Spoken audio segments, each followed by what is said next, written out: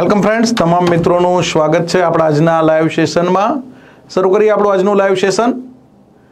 CC પરીક્ષા નજીક આવી ગઈ છે અને આપણે બધા મિત્રોએ જોરદાર તૈયારી કરી છે. બરાબર? મેથ્સ રિઝનિંગના તો ભૂકા કાઢી જ નાખ્યા છે. પણ હવે આજે મિત્રો ગુજરાતી વ્યાકરણ અને એમાંય ખાસ હાલ જે પેટર્ન છે, એ પ્રમાણે અર્થગ્રહણ અથવા ગદ્યાર્થ ગ્રહણ અથવા શબ્દ ભંડોળ બહુ અગત્યનું છે. ગુજરાતી આપણે બધા જ છીએ તો આપણને ગુજરાતી આવડવું જરૂરી છે. એટલે શરૂઆતમાં તો પહેલાં બધાય ગુજરાતી મિત્રો હોય ને તો એકવાર લાઇક કરતો વિડીયોને. અને વિડીયોને તમામ મિત્રો સુધી શેર કરતો કારણ કે આપણે બધાય ગરવા ગુજરાતી છીએ. અને આજ આપણે ગુજરાતી ભાષામાં જ, માતૃભાષામાં જ ભૂક્કા બોલાવાના છે. ચલો તો ફટાફટ એકવાર વિડીયોને લાઇક કરી દો અને વિડીયોને શેર કરી દો. કારણ કે આમ તો આ વીડિયો આપણે ગઈકાલનો નહોતો, પણ આપણને અનુકૂળતા નથી રહી એટલે નહોતા લઈ શક્યા. બરાબર? આજે આમ તો ઘણા બધા કામ હતા, પણ એ બધા પડતા મૂકીને તમારા માટે આપણે આ સેશન શરૂ કરી દીધું છે. તો એકવાર તમે બધાય જો ગરવા ગુજરાતી છો અને માતૃભાષા તમને બધાને પસંદ છે કે હા, મારી ગુજરાતી, હા, તો આ ગુજરાતી આપણી ભાષામાં આપણને પૂરા માર્ક્સ મળે. પંદર ગુણના આપણા ગુજરાતીના પ્રશ્નોમાં આપણે આજે મોટા ભાગનું કવર કરીશું. બરાબર? તમને આ પરીક્ષામાં સીસીઈમાં તો ઉપયોગી થશે જ, પણ આના ઉપરાંત આવનારી જે પરીક્ષાઓ છે સીસી ઉપરાંત તો કે ભાઈ સીસીઈની પરીક્ષામાં તો સો ટકા આપણને આ આવડશે જ. પણ સીસી પછી પોલીસ કોન્સ્ટેબલ છે, પીએસઆઈ છે, એમાં પણ આ ઉપયોગી થવાનું છે. તો શરૂ કરી દઈએ આપણું ગુજરાતી અર્થગ્રહણ. બરાબર? તો ભોળાનાથને યાદ કરી અને હર હર મહાદેવના નાદ સાથે આગળ વધવું છે. ગુજરાતી અર્થગ્રહણની અંદર બહુ જ મહત્વના ટોપિક આજે તમને કરાવવાના છે. તો થોડી સ્પીડમાં હું ચાલીશ. ચાલશે ને? આપણે બહુ ઓછા સમયમાં વધારે કન્ટેન્ટ કવર કરવું છે. એટલે સ્પીડ મારી થોડી વધારે રહેશે, કોઈ વાંધો નથી ને.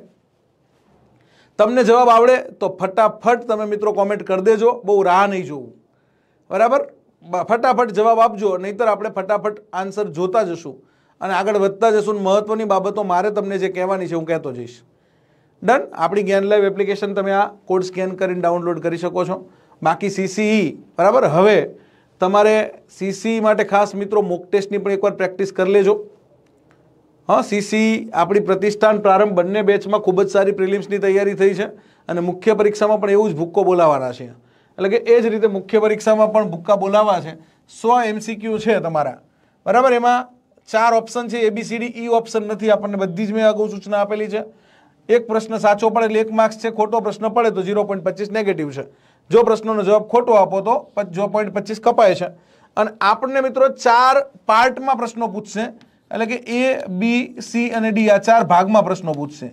અહીંયા તમારો એ ભાગ છે એ મેથ્સનો સોરી રિઝનિંગનો છે. બી ભાગ છે એ મેથ્સનો છે. સી છે એ ઇંગ્લિશનો છે. અને ડી છે એ ગુજરાતીનો છે. શરૂઆત આપણે ગુજરાતીથી કરીએ છીએ.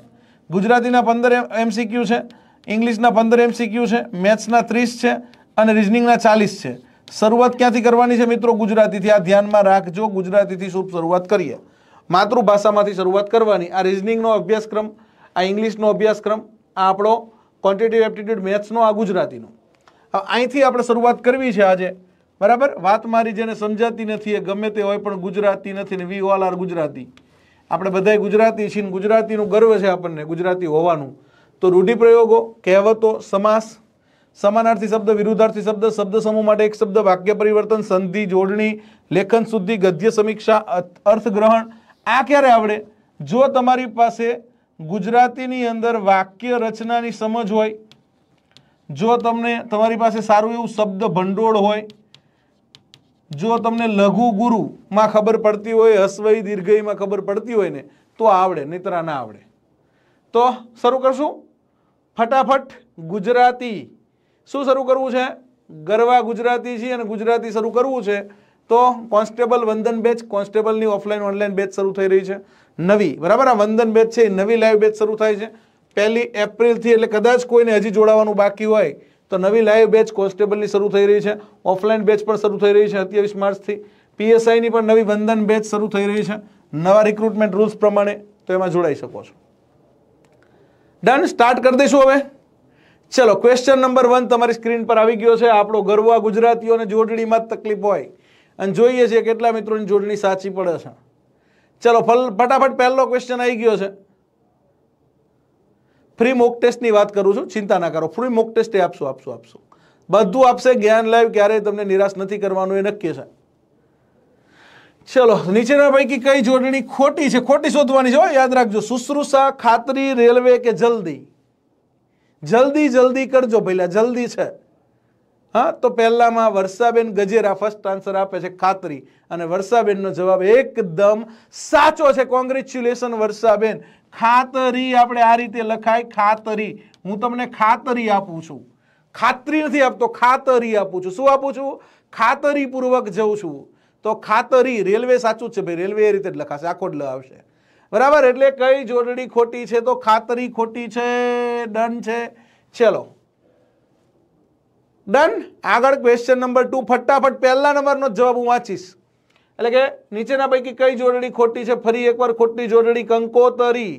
કંકોત્રી, કંકોતરી, વિગત અને ગતકડું. કયું ખોટું છે ભાઈ? ફટાફટ જો શોધીને કહેજો મને. હા, ચાલો ક્વેશ્ચન નંબર ટુ બગડો કરીને જવાબ લખજો ભાઈ. બગડો કરીને, હજી પહેલાનો જવાબ આપે છે ઘણા બધા. તો આમાં બે કંકોત્રી છે, બંને કંકોત્રી સાચી છે કે કંકોત્રીમાં એક તો ખોટી જોઈ શું માનો છો તમે? બીજામાં સી. બીજામાં હજી કોઈનો જવાબ સાચો આવ્યો નથી. બીજામાં C C C C C C સાચી છે ભાઈ બીજામાં.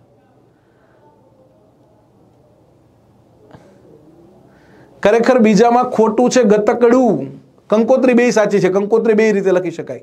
ઘણી બધી જોડણી એવી છે કે બે રીતે લખી શકાય. તો અહીંયા ખોટું ગતકડું છે. ગતકડું ડુની માથે અનુસ્વાર આવે. ગતકડું. શું તમે નવું ગતકડું લાયા? ગતકડું લાવીને એટલે અનુસ્વાર વાળું ગતકડું આવે. અનુસ્વાર નથી. એટલે ગતકડું ખોટું છે. હો, વિગત બે રીતે લખાય છે. વિગત છે ને બે રીતે લખાય. આ વિગત સાચી ગણાય અને આ વિગત લખાય. એટલે વિગત છે ને બે રીતે સાચું ગણાય. વિગતવાર. તો આ વિગતે સાચી છે ને આ વિગતે સાચી છે. કંકોત્રી બે રીતે લખાય. આ કંકોત્રી સાચી, આ કંકોત્રી સાચી. તમારા ઘરે જે આવે. તમને બધાને કંકોત્રી મળી ગઈ હશે. અત્યારે શેની સીસી ની કંકોત્રી બધાને મળી ગઈ ને? હા સીસી ની કંકોત્રી તમને બધાને મળી ગઈ હશે. સીસી ની કંકોત્રી મળી ગઈ ને? એ તમારી કંકોત્રી છે. તો કંકોત્રી બે રીતે મળે. આ રીતે કંકોત્રી મળે અને કંકોત્રી આ રીતે મળે. બંને કંકોત્રી સાચી જ ગણાય ભાઈ. હોય ને કોલ લેટર એ કહેવાય ને હોલ ટિકિટ એ કહેવાય, બે સાચું જ ગણાય. કંકોતરી ને કંકોત્રી. જો અમુક જોડણીઓ એવી છે, મિત્રો, જે ફટાફટ તમને કહું, એક કરતાં વધુ રીતે લખાતી જોડણીઓ આવી ઘણી બધી છે. આ એક એક્ઝામ્પલ છે તમારા માટે, ઉંમર આમે લખાય અને આમે લખાય. ખનિજ હસવાઈ લખાય, દીર્ઘઈ લખાય. જગાય લખાય જગ્યાએ લખાય. જાપતોય લખાય જપતોય લખાય. ખર્ચે લખાય, આ રીતે ખર્ચે લખાય, આ રીતે લખાય. ઓશિકુ આમે લખાય આમે લખાય. અહીં મીંડાવાળો સહી લખાય અને સસલા સહી લખાય. બંને રીતે ઓશિકુ સાચું ગણાય. કંકોત્રી, આ આપણે જો અત્યારે કંકોત્રી લખી હતી બે રીતે સાચી. કંકોતરી લખાય ને કંકોત્રી લખાય. ગુજરાત હસ્વ પણ લખાય, ગુજરાત દીર્ઘ પણ લખાય. બંને રીતે ગુજરાત સાચું ગણાય. બરાબર? તકતી તખતી લખાય. પેન્સિલને આમે લખાય. પેન્સિલ અને પેન્સિલ આમે લખાય કારણ કે ઇંગ્લિશ શબ્દ છે. પ્રામાણિક આ પ્રમાણ પ્રમાણિકે લખાય અને પ્રામાણિકે લખાય. એટલે કે આ અમુક જોડણી એવી છે કે બંને રીતે સાચી હોય. હવે આપણને એવું થાય કે સાહેબ, બે કંકોત્રી આપી, એક કંકોત્રી તો ખોટી હોય જ. પણ એવું હોતું નથી. લાસ્ટનો ઓપ્શન કદાચ તમને નીચે પેલી રીલને હિસાબે નહીં દેખાતો હોય તો આપણે કંઈક કરશું. ચલો. હા, તમારા માટે રસ્તો કરશું. ટૂંકમાં દરમિયાન, જો આમે લખાય, દરમિયાન અને દરમિયાન આ રીતે લખાય. નજદીકે લખાય અને નજીકે લખાય. બંને સાચું જ ગણાય. નિકાસની અંદર સ આય ચાલે અને આય ચાલે. એટલે કે મીંડાવાળો સ ચાલે અને સસલા સય ચાલે. તો અમુક જગ્યાએ જ્યારે આવા શબ્દ છે, દુઆ અને દુઆ, બે લખાય. દુવાય લખાય ને દુઆએ લખાય. દુઆ મેં યાદ રખના. કહાં पे યાદ રખના દુઆ में યાદ રખના. મજાએ લખાય ને મજાએ લખાય. બહુ મજા આવી ને બહુ મજા આવી મજા આવે ને મજા આવે. હા? એટલે કે અમુક અમુક જગ્યાએ બંને જોડણી સાચી રહે છે. એટલે આવી વસ્તુને ખાસ તમે જોઈ લેજો. આપણે આવી મહત્વની બાબતો જ આજ તમને શેર કરવાની છે. ચલો નેક્સ્ટ ક્વેશ્ચન તમારી સ્ક્રીન પર આવી ગયો છે. નીચેના પૈકી કઈ જોડણી સાચી છે? સાચી શોધવાની, એવું ખોટી ના શોધતા પાછા. હવે કઈ શોધવાની છે? સાચી શોધવાની છે. ચલો, ફટાફટ સાચી જોડણી કહી દો. મને ક્વેશ્ચન નંબર ત્રણની અંદર, નિરીક્ષકની સાચી છે, નિરીક્ષક સાચી છે, નિરીક્ષક સાચી છે નિરીક્ષક સાચી છે. બધી નિરીક્ષક જ છે આમ તો. પણ સાચું નિરીક્ષક કેમ લખીશું આપણે? તો સાચું નિરીક્ષક લખીશું બી પ્રમાણે. બરાબર? ની હસવાઈ રી દીર્ઘઈ નિરીક્ષક. તો નિરીક્ષકની જોડણી છે એ બી વાળી સાચી છે ને મોટાભાગના મિત્રોનો બી જવાબ છે, ડન છે. આગળ વધીશું. ચલો, ત્યાર પછી સાચી જોડણીવાળું શબ્દ જૂથ કયું છે? કયું શબ્દ જૂથ સાચી જોડણીવાળું છે? એટલે કે આખે આખું જૂથની બધી જ જોડણી સાચી હોય કઈ છે? આખું શબ્દ જૂથ જોવાનું છે કે જેમાં બધી જોડણી સાચી હોય? રવિન્દ્ર કલાપી, જિલ્લો રેલવે સ્ટેશન, નિમણૂક બિસ્માર, બીમાર અને પ્રવીણ અને શ્રીમતી. ચલો, ફટાફટ ફોર્થ નંબરનો ક્વેશ્ચન આવી ગયા છીએ આપણે. તમારે જોતો જવાનું છે, ફટાફટ જવાબ આપતો જવાનો છે.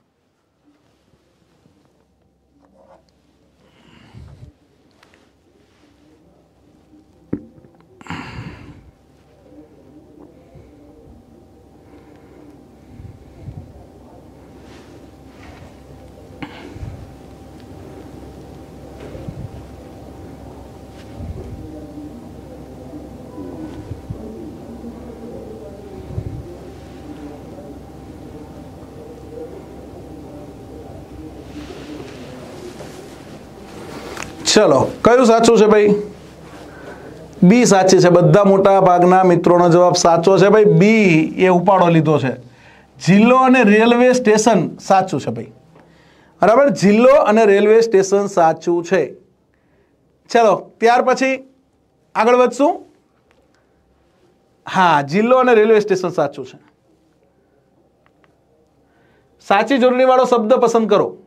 પાણી આરું પાણી આરું પાણી આરું કે પાણી આરું? ફટાફટ ક્વેશ્ચન નંબર ફાઈવ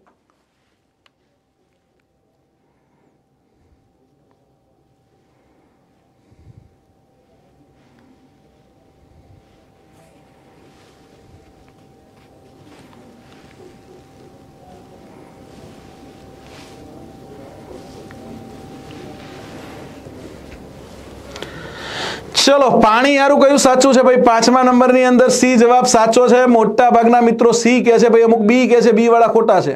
પાણી યારું. કયું સાચું છે પાણી યારું? પાણી યારું. આ પાણી યારું સાચું છે. પાણી મૂકવા માટેનું યારું. એટલે કે જ્યાં ઘરમાં પીવાનું પાણી મૂકવાનો ઘડો મૂકે, પીવાનું પાણીનું બેડું મૂકે, પીવાના પાણીનું માટલું મૂકે, એને પાણી યારું કહેવાય. શું કહેવાય? પાણી યારું. ચલો. તો પાણી યારું સાચું છે ભાઈ. ચલો, ફટાફટ છ નંબર સાચી જોડણી શોધવાની છે. દસ જોડણી લઈએ, પછી શબ્દ સમૂહ લેશું, સમાનાર્થી લેશું, વિરુદ્ધાર્થી, બધું દસ દસ દસ દસ જોતા જઈએ. પછી ઇમ્પોર્ટન્ટ ઇમ્પોર્ટન્ટ હોય એવી વસ્તુને આપણે આગળ લેતા જઈએ. ચલો, સચ્ચિદાનંદની સાચી જોડણી શોધવાની છે. સત વત્તા ચિત્ત વત્તા આનંદ. સચ્ચિદાનંદ, બહુ પૂછાતી દસમા ધોરણમાં. સત વત્તા ચિત્ત વત્તા આનંદ. સચ્ચિદાનંદની તમારે જોડણી શોધવાની છે. તમારે સચ્ચિદાનંદ સચ્ચિદાનંદ પ્રભુ. ચાલો, ફટાફટ સાચી જોડણી જણાવજો. છઠ્ઠા નંબરમાં સચ્ચિદાનંદ, પહેલી જોડણી સાચી છે ભાઈ. સત વત્તા ચિત્ત વત્તા આનંદ. સચ્ચિદાનંદ, એની સંધિ થશે સત વત્તા ચિત્ત વત્તા આનંદ. તો છઠ્ઠાની અંદર એ જે મિત્રો છે એ બધા સાચા છે. ચલો, ત્યાર પછી સાતમા નંબરની જોડણી આવી ગઈ છે તમારી સ્ક્રીન પર. નીચે આપેલા વિકલ્પમાંથી સાચી જોડણી શોધીને લખો. ગિરિશૃંગ ગિરિશૃંગ ગિરિશૃંગ ગિરિશૃંગ. ચલો, ગિરિશૃંગમાં કયું સાચું છે? ફટાફટ. સાતમા નંબરના ક્વેશ્ચનમાં કયું ગિરિશૃંગ ગિરી એટલે પર્વત અને શૃંગ એટલે ચોટી? એક, તમે કદાચ અહીંયા મહારાષ્ટ્રમાં જાઓ ને તો સપ્તશૃંગી માતાનું મંદિર છે. કદાચ કોઈ જોયું હોય તો સપ્તશૃંગી માતાનું મંદિર મહારાષ્ટ્રમાં, સપ્તશૃંગી. સપ્તશૃંગી. શૃંગી માતાનું મંદિર છે સપ્તશૃંગી એટલે આ મંદિર બહુ અગત્યનું છે સપ્તશૃંગી તો ગિરી, અહીંયા ગિરિશૃંગ આ સાચું છે, એ. તો ગિરિશૃંગમાં કોણ સાચું છે? એ વાળા બધા મિત્રો સાચા છે ગિરિશૃંગ એ. કયું? એ વાળું સાચું છે. નીચે આપેલ શબ્દ પૈકી સાચી જોડણી વાળો શબ્દ કયો છે? મિજબાની મિજબાની મિજબાની. મિજબાની કરી, પણ કઈ મિજબાની સાચી કરી? આઠમા નંબરમાં સાચી મિજબાની શોધવાની છે. ચલો, ફટાફટ સાચી મિજબાની શોધો. મી હસવાઈ આવશે કે મી દીર્ઘઈ આવશે? અને ની હસવાઈ આવશે કે ની દીર્ઘઈ આવશે? બે શોધવાનું. પહેલું હસ્વ અને છેલ્લું દીર્ઘ. એવું છે કે પહેલું દીર્ઘ અને છેલ્લું હસ્વ છે? તો અહીંયા મિત્રો મિજબાનીની અંદર પહેલી મી હસ્વ છે અને ની દીર્ઘ છે. તો આ સાચું છે મિજબાની. બરાબર? મિજબાની, મી અશ્વ અને ની દીર્ઘ. મિજબાનીમાં શું જવાબ છે? બી વાળા બધા મિત્રો સાચા છે. ફટાફટ ફટાફટ ફટાફટ સાચો જવાબ છે. ચલો. તો આવી જોડણી અમુક સો થી દોઢસો જોડણી છે. એમાંથી વારંવાર પરીક્ષામાં જોડણી પૂછાય. બરાબર? તો એમાં જોડણી ખોટી ના પડવી જોઈએ. મિજબાનીની અંદર મી હસવાઈ આવે અને ની દીર્ઘય આવે. ચલો. પરમ શિવ ભક્ત હતો. સાચી જોડણીથી વાળો શબ્દ મૂકો. બાણાસુર બાણાસુર, બાણસુર કે બાણાસુર? ચલો, બાણાસુર પરમ શિવ ભક્ત હતો કોણ હતો? તો કે ભાઈ બાણાસુર. બરાબર? શિવ ભક્ત હતો બાણાસુર. તો કયો સુર આવશે? હસ્વસુર આવશે કે દીર્ઘસુર આવશે? બાણાસુર. ચલો, ફટાફટ આન્સર આપી દેજો. ચારસો મિત્રો લાવ્યો છે. નવમા નંબરનો હજી કોઈનો સાચો જવાબ નથી આવ્યો ભાઈ. બાણાસુર, નવમામાં સી ખોટો છે, બી ખોટો.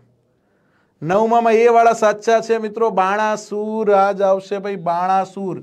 બાણસુર નહીં, બાણાસુર. કયો હતો? બાણાસુર નામનો રાક્ષસ હતો અને પરમ શિવ ભક્ત હતો, બાણાસુર. ડન, એ વાળા મિત્રો સાચા છે, બાણાસુર.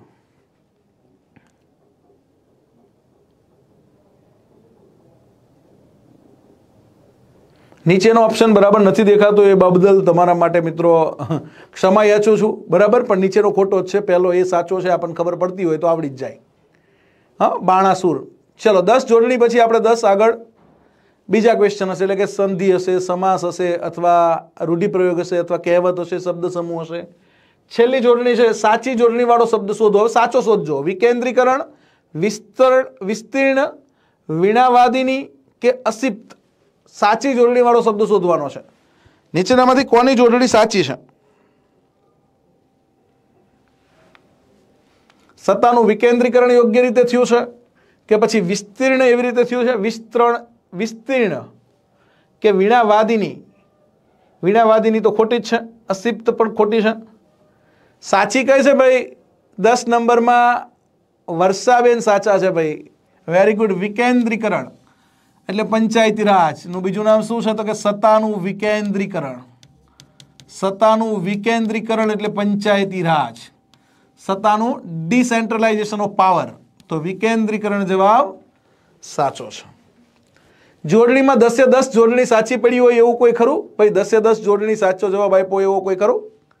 કે દસે દસ જોડણીની અંદર સાચો જવાબ આપી શક્યા એવું કોઈ છે નહીં?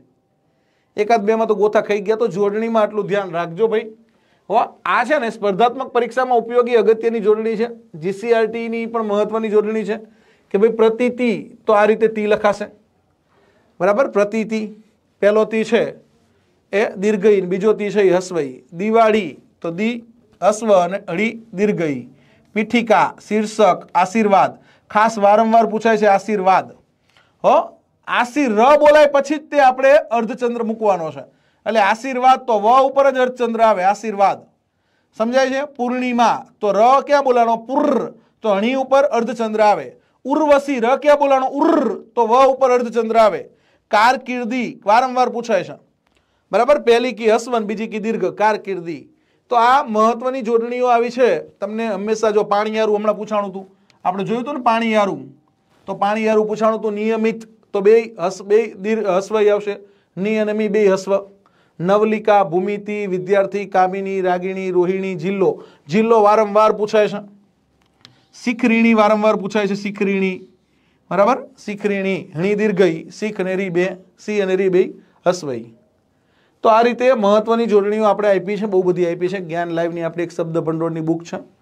બરાબર? એને ખાસ ફોકસ કરજો. અને બાકી આપણે મેક્સિમમ આજ તમને આપવું છે, એટલે ફટાફટ આગળ વધીએ છીએ. નીચેના પૈકી કયા શબ્દનો અર્થ સમાનાર્થી? પવનનો સમાનાર્થી કયો નથી? પવનનો. અનિલ, મતરિક્ષા. ચલો, પવનનો સમાનાર્થી શબ્દ જોજો જોજો ભાઈ.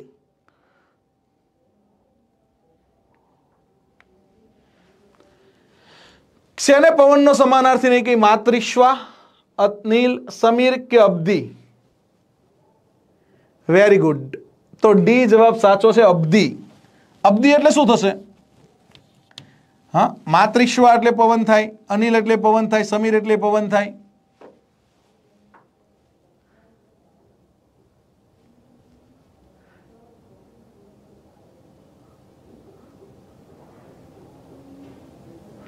જલ્દી જલ્દી લાંદ ગયે. અચરજ નાઈ જલ્દી એટલે સમુદ્ર થાય, જલ્દી. પણ આ અબધી છે, અબધી. અબધી એટલે પણ સમુદ્ર. દરિયો. હા, તો જે રીતે જલ્દી છે. જલ્દી લાંદ ગઈ અચરજ નાહી. આપણે કહીએ ને? જલ્દી લાંદ ગઈ અચરજ નાહી. હનુમાન ચાલીસામાં તમે ગાઓ છો. જલ્દી અને અબધી ચાલો ભાનુ શબ્દનો સમાનાર્થી શબ્દ દર્શાવો. ભાનુનો તો બધાને આવડવો જ જોઈએ.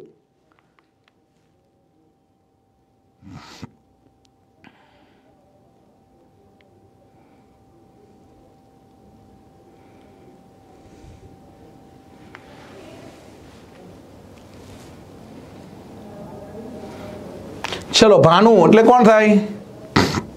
હનુમાન ચાલીસામાં.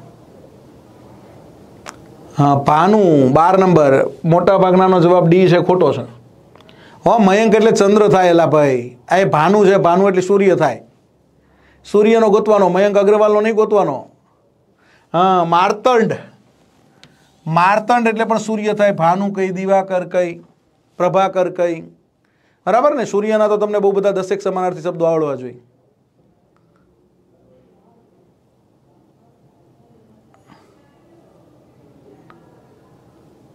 ચાલો. નીચેનામાંથી કયો શબ્દ તીરનો સમાનાર્થી નથી? તીર. એમાં શું તમે તીર મારી લેશો? હા, ઈસુ, સિલીમુખ, સર કે પણસ?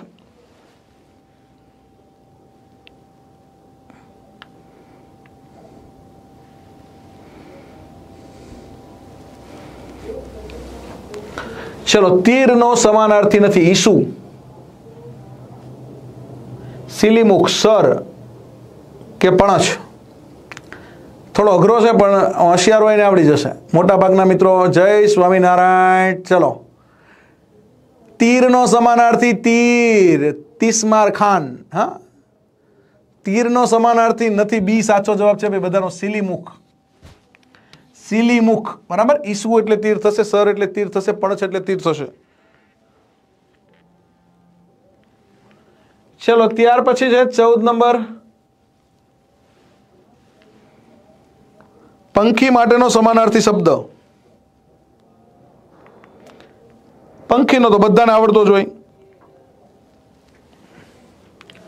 પંખી પારેવું, જલજ, નીરજ, પંકજ કે અંડજ ચલો, ફટાફટ ચૌદ નંબરનો જવાબ આપજો. ફટાફટ પક્ષી, આ પંખી, પક્ષી, વિગ ખગ બહુ બધું કહે છે ને ડી અંડજ ના કહેવાય ડરાવર છે. અંડજ નહીં કહેવાય, સાચું છે મિત્રો? ડી જવાબ સાચો છે.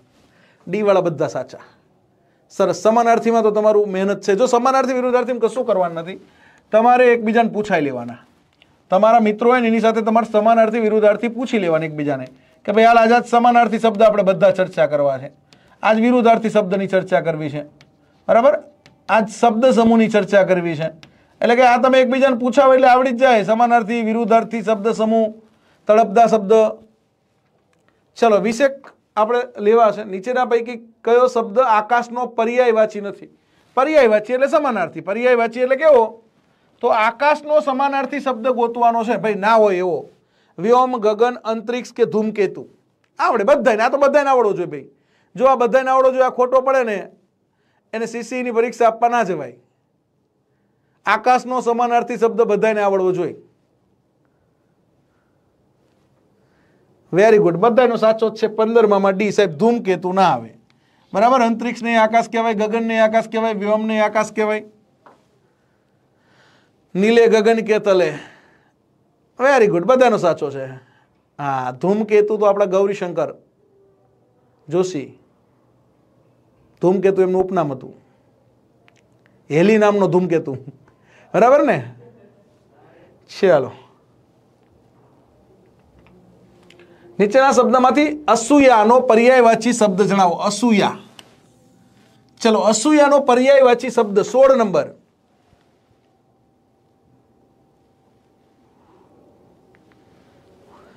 અસૂયા. તમને બહુ અસૂયા થાય. અમુક વ્યક્તિનું અસૂયા બહુ અમુક લોકોને થતી હોય છે. અસૂયા. વોટ ઇઝ અસૂયા? સોળ નંબર. બદલો, શત્રુતા, દ્વેષ કે ઈર્ષા? વર્ષે ઘડી કવ્યમાં વાદળી રે લોલ અને માળીનો મેઘ બારે માસ રે જનનીની જોડ શકી નહીં જડે રે લોલ તો અહીંયા અસૂયાનું ઈર્ષા. અમુક ઈર્ષાવાનું હોય ને અસૂયા થાય એને. ઈર્ષા. જેલસી. ઇંગ્લિશમાં શું કહેવાય એને? જેલસી. જેલસ. અમુક જેલસી લોકો હોય, ઈર્ષાવાળા હોય. કોઈની ઈર્ષા ક્યારેય ના કરવી, ભગવાને એવું કીધું છે. કોઈની ઈર્ષા નહીં કરવાની, બધા પોતપોતાની રીતે આગળ વધે. આ તો કોઈ આગળ વધે ને આપણે ટાટિયા ખેંચી લેવા. આ ભાવના કાઢી નાખવાની. ચલો, તો અસૂયા એટલે ઈર્ષા. ડન મજા આવે છે ને? મજા આવતી હોય એકવાર લાઈક કરી દેજો શેર કરી દેજો. નીચેના શબ્દોમાંથી કયો શબ્દ ચંદ્રનો સમાનાર્થી નથી? હવે સૂર્ય આવી ગયો, આગળ ભાનુ, હવે ચંદ્ર આવ્યો. હવે આ તો બધાને આવડવું જ જોઈએ. આ તો નરી આંખે જો આ ના આવડે તો કૂદકો માર્યો કહેવાય. ડન ને? સુધાકર, શશી, ભાસ્કર કે મયંક? તો સુધાકર, શશી મયંક કહેવાય. પણ ચંદ્રને ભાસ્કર ના કહેવાય. હા?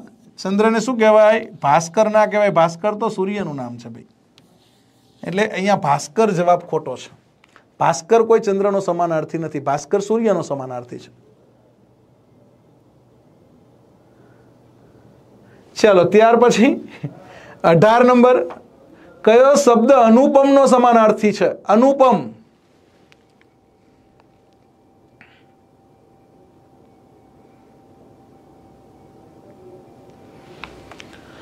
અનુપમ છે, એટલે કે જેને ઉપમા આપી શકાય એવું નથી, એવું છે, અનુપમ છે.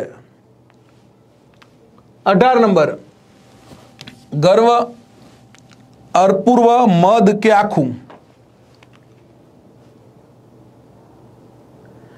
બસ, તો અનુપમનો સમાનાર્થી શબ્દ તમારે મને આપવાનો છે ભાઈ. અઢારમા પ્રશ્નની અંદર અર્ચના બેટાનો જવાબ સાચો છે, અર્ચના બારોટ. વેરી ગુડ ગ્રીષ્મા ઉર્વશી સરસ. એટલે મોટા ભાગના અપૂર્વ, જો આમ તો ક્યારેય પૂર્વ ન બન્યું હોય ને અપૂર્વ કહેવાય. અને જેને કોઈ ઉપમા ન આપી શકાય એને અનુપમ કહેવાય. પણ અહીંયા અપૂર્વ છે એ જવાબ સાચો છે, કારણ કે બીજા કોઈ સેટ થતા જ નથી. ગર્વ, મદ કે આખું સેટ નથી થતા. એટલે કયો જવાબ છે? તો અપૂર્વ અને અનુપમ પણ સમાનાર્થી ગણ્યા છે. ડન ચાલો. રૂઢિનો સમાનાર્થી શબ્દ એટલે રૂઢિ. આવી રૂઢિ છે. અમારે ત્યાં આવી રૂઢિ બનાવેલી છે, રૂઢિ. તો શું છે? સ્થાપિત કરેલું છે, આવું મક્કમ છે, આવી પરંપરા છે કે આવું જળ છે? જળ ચેતન.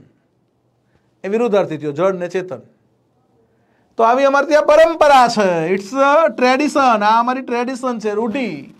રૂઢિ એટલે ટ્રેડિશન આવી અમારી રૂઢિ છે, પણ આપણે બધા ઇંગ્લિશ મીડિયમમાં ભણાવીને બહુ તકલીફ પડે. ગુજરાતીમાં ભણાવે ગામડામાં ભણાવે ને, એને આવડે જ આ બધું. ગામડાની શાળામાં ભણાવે તળપદા શબ્દ આવડે, સમાનાર્થી આવડે, વિરુદ્ધાર્થી આવડે, કારણ કે અહીંયા ગામડામાં આ એક મહાવરો થઈ ગયો હોય કે આ અમારી પરંપરા છે ને આ અમારી રૂઢિ છે.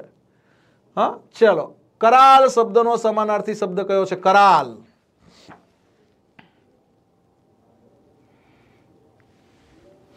કરાલ શબ્દ, એક શબ્દના મેક્સિમમ સમાનાર્થી ગોતવાના.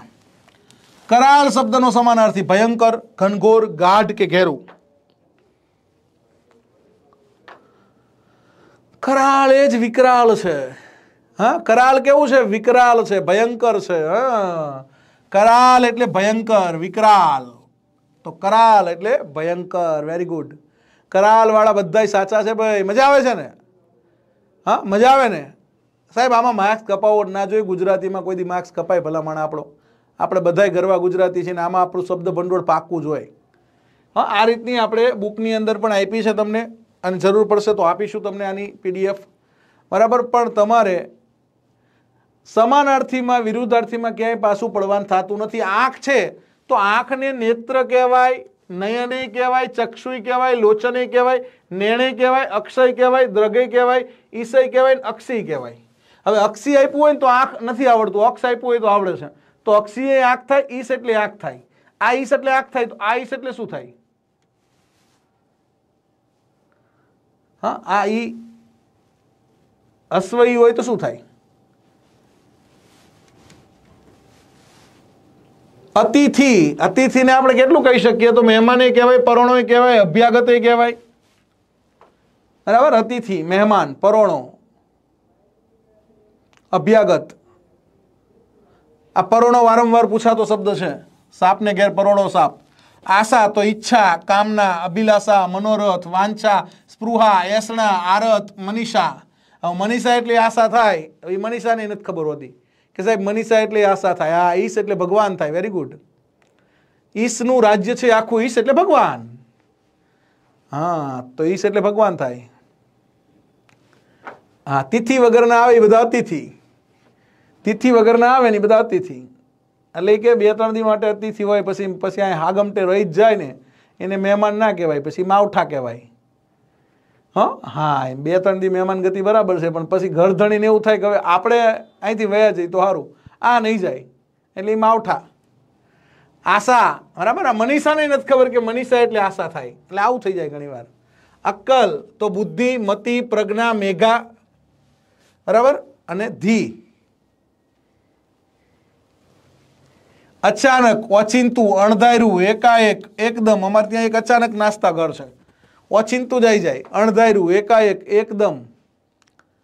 અગ્નિ, જો આ રીતે આ તો એક એક શબ્દના આપ્યા છે, અગ્નિનું વારંવાર પૂછાય છે મોસ્ટ ટાઈમ આગ, પાવક વારંવાર પૂછાય, અનલે પૂછાય છે, દેવતાએ પૂછાય, ઉતાસને પૂછાય, બરાબર? વગ્નિ, અંગાર, આ બધા અગ્નિના સમાનાર્થી છે. અલ્પ અલ્પ, થોડું, નજીવું, જરાક, સહેજ, ક્ષુલ્લક, જરા. એ કે જરાક તમે થોડા આગા ખસજો ને જરાક આગા ખસજો જરાક.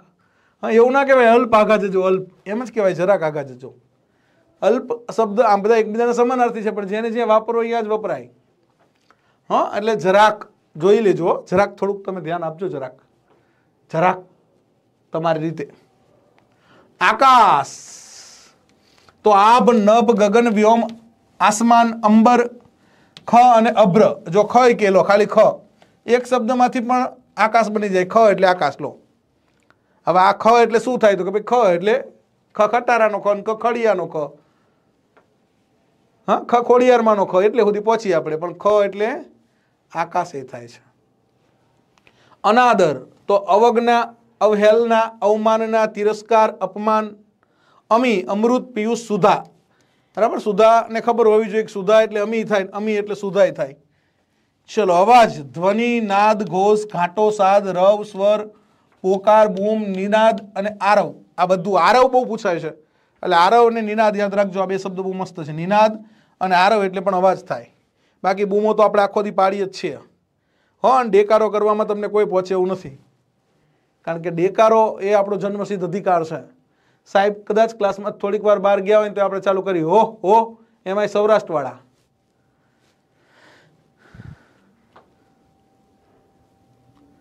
અનિલ. બરાબર? હવે અનિલને તમારે પૂછવું પડે કે ભાઈ અનિલ એટલે પવન થાય, વાયુ થાય, સમીર થાય, વાયરો થાય, મારુત થાય, વાત થાય, વા થાય, સમીરણ થાય.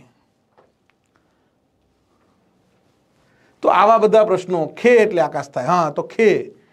ખ નહીં, પણ ખે. એટલે આવા શબ્દો ખાસ તમારા મિત્રો જોઈ લેવાના, એકબીજાને પૂછાઈ લેવાના. આની ચર્ચા કરવાની.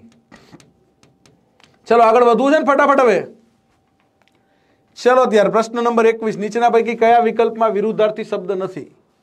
એટલે કે કયામાં વિરુદ્ધાર્થીની જગ્યાએ સમાનાર્થી આવી ગયો છે? ફટાફટ કહો, ચલો. વિરુદ્ધાર્થીની જગ્યાએ સમાનાર્થી શબ્દ આવી ગયો છે એકમાં. કઈ જગ્યાએ એવું થયું છે? ભૂલ ક્યાં પડી છે કેજો સાદર અનાદર બરાબર છે. આસ્તિક નાસ્તિક બરાબર છે. વ્યોમ આકાશ સમાનાર્થી થઈ ગયો ને ભાઈ? સાક્ષર નિરક્ષર. એ પણ વિરુદ્ધાર્થી છે, પણ વ્યોમ એટલે આકાશ થાય, ગગન થાય. હમણાં જ આપણે આકાશ લીધું. હા? લીધું ને હમણાં આકાશ? એટલે આકાશ બહુ આવે ભાઈ. ડન, તો સી બધાનો જવાબ સાચો છે. મજા આવે છે ને? ચાલો, ત્યારે એકવાર લાઈક કરી દો વિડીયોને શેર કરી દો, આગળ વધીએ. નીચેના પૈકી કયા વિકલ્પમાં વિરુદ્ધાર્થી શબ્દો છે? હવે અમુક જગ્યાએ સમાનાર્થી છે, તો વિરુદ્ધાર્થી કઈ જગ્યાએ છે કેજો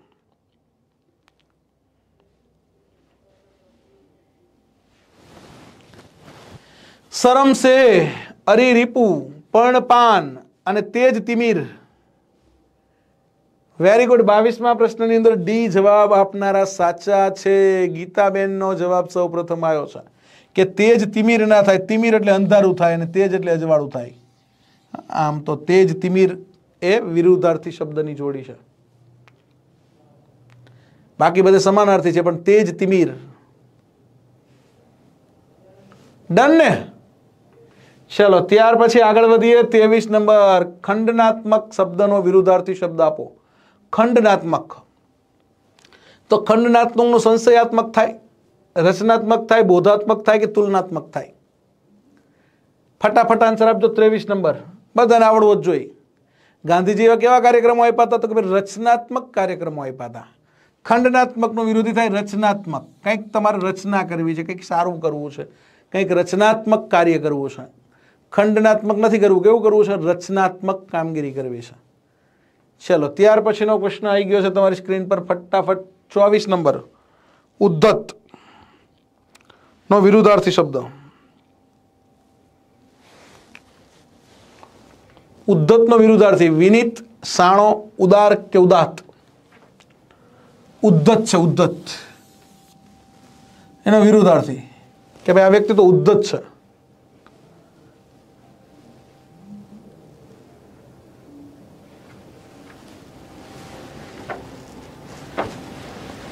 પઠાણ બોલ. હા સર એક સ્કૂલ આવી છે નવ ધોરણ બાર ધોરણ સુધી. હું તને ફોન કરું થોડી વાર મારે લેક્ચરમાં હો.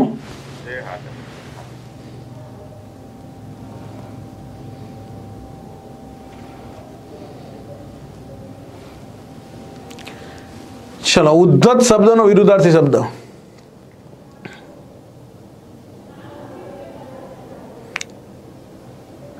હા સાણા વાક્યની ગુફાઓ. તો ઉદ્ધતનો સમાનાર્થી સોરી વિરુદ્ધાર્થી થશે વિનીત. આ વ્યક્તિ એકદમ ઉદ્ધત છે ને આ વ્યક્તિ એકદમ વિનીત છે. એકદમ કેવો છે? તો કે ભાઈ, વિનીત. ઉદ્ધત એટલે એકદમ ખરાબ વર્તનવાળો છે અને વિનીત એટલે એકદમ સારા વર્તનવાળો. તો સારા વર્તનવાળાને વિનીત કહેવાય. શું કહેશું? વિનીત. એ આવે. હા, એ વાળા સાચા છે મિત્રો. ચલો. ડન છે. નીચે પૈકી કયા વિકલ્પમાં વિરુદ્ધાર્થી શબ્દો છે? પ્રાકૃતિક સહજ, નાગરિક ગ્રામ્ય અલ્પ અને અવગુઠન અને આચ્છાદન. કયો વિકલ્પમાં વિરુદ્ધાર્થીથી આપણને વિકલ્પો આપેલા છે?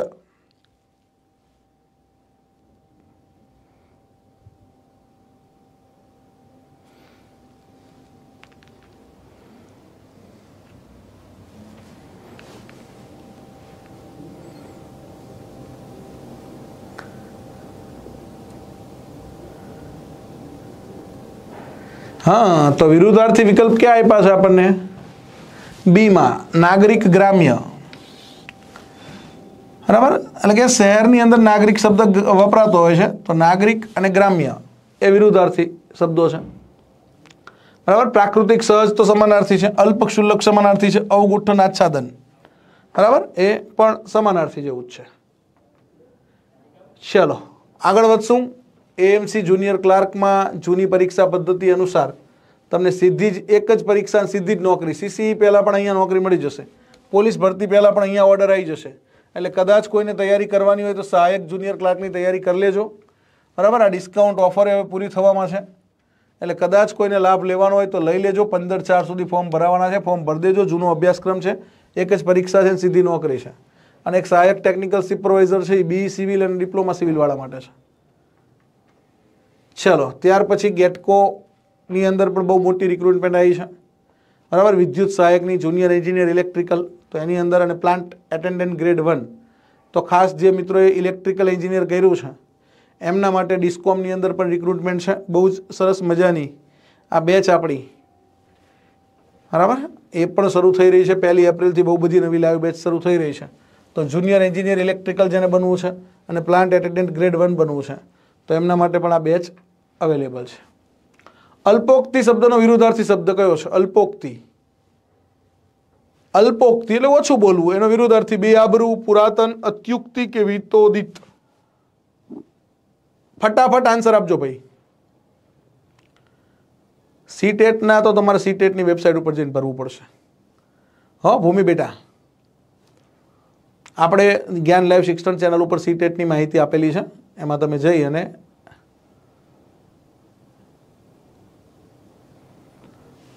તો અત્યુક્તિ, વધારે બોલવું એને અત્યુક્તિ કહેવાય અને ઓછું બોલવું, એને અલ્પોક્તિ કહેવાય. તો અહીંયા શું આવશે? અત્યુક્તિ. ડન ચલો, ત્યાર પછી નેકી શબ્દનો વિરુદ્ધાર્થી શબ્દ. નેકી ઓર પૂછ પૂછ નેકી ઓર પૂછ પૂછ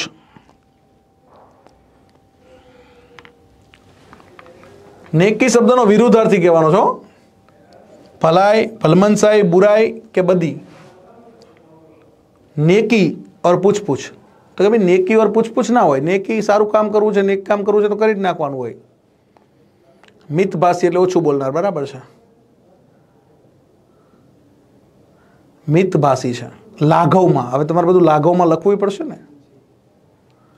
ચલો, તો સત્યાવીસ નંબરમાં બધી. નેકી તો બધી. બરાબર ને? મોટાભાગના ડીએ પહોંચી ગયા. પણ શબ્દને સમજવાનો છે. નેકી તો સામે બધી જ આવે. નેકી બધી. વિરુદ્ધાર્થી શબ્દ. નેકી તો બધી જ સેટ થાય. બુરા, બુરાઈ ના થાય. ભલાઈ તો બુરાઈ સેટ થાય. બુલાઈ, બુરાઈ સામે ભલાઈ હોવું જોઈએ. ભલાઈનું વિરોધી બુરાઈ થાય. નેકી તો બધી જ હોય. નેકી તો બધી. હવે બધી કરવામાં બધાને ભૂલ થઈ ગઈ. થાય ને આવું. હોતા હે હોતા એસા હોતા હે ચલો, ગૌણનો વિરુદ્ધાર્થી શબ્દ ખાલી જગ્યા છે. ગૌણ.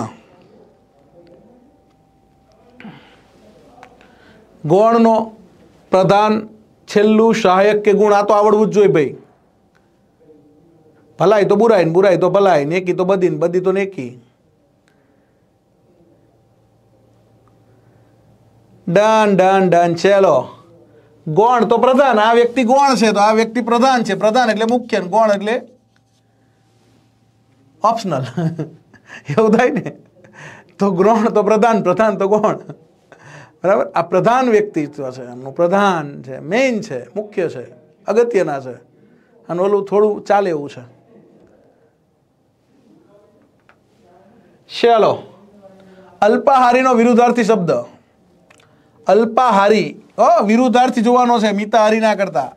અલ્પાહારીનો ખાઉધરું, શાકાહારી, મિતભાષી. હા કેટલા હશે? જો અત્યારે ભૂખ લાગી ગઈ છે સાહેબ, હવે રવા દો કે સાહેબ, એક વાગી ગયો છે હવે અમે અલ્પાહારીના વિરોધી છીએ. હા?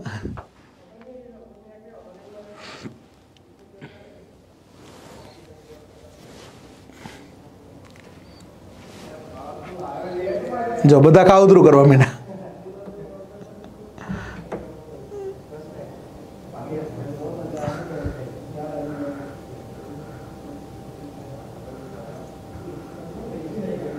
હા, એ કે સાહેબ, અમે અલ્પાહારી નથી, અમે તો જાજુ ખાવા વાળા છીએ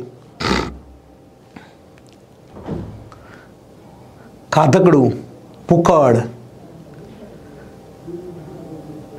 શાકાહારી તો ઠીક છે, અલ્પાહારી અલ્પાહારી ઓછું ખાવા વાળો ખાવદરું એટલે જાજુ ખાવા વાળો મિતભાષી, ઓછું બોલવા મિતાહારી નહીં આવે, બરાબર? ખાઉધરું જ આવશે. આ મિતાહારી ટીક કર્યું છે, પણ મિતાહારી એટલે ઓછું ખાવાવાળો જ થાય.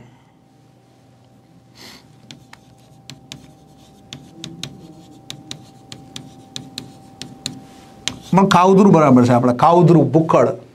બહુ વધારે ખાવાની ભૂખ લાગતી હોય ને.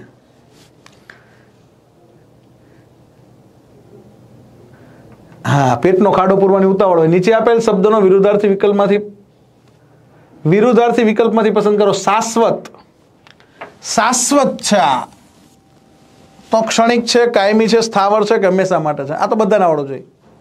મિતાહારી સમાનાર્થી છે. અલ્પાહારી, મિતાહારી સમાનાર્થી, એટલે ખાઉધરું કરવાનું આપણે, ખાઉધરું.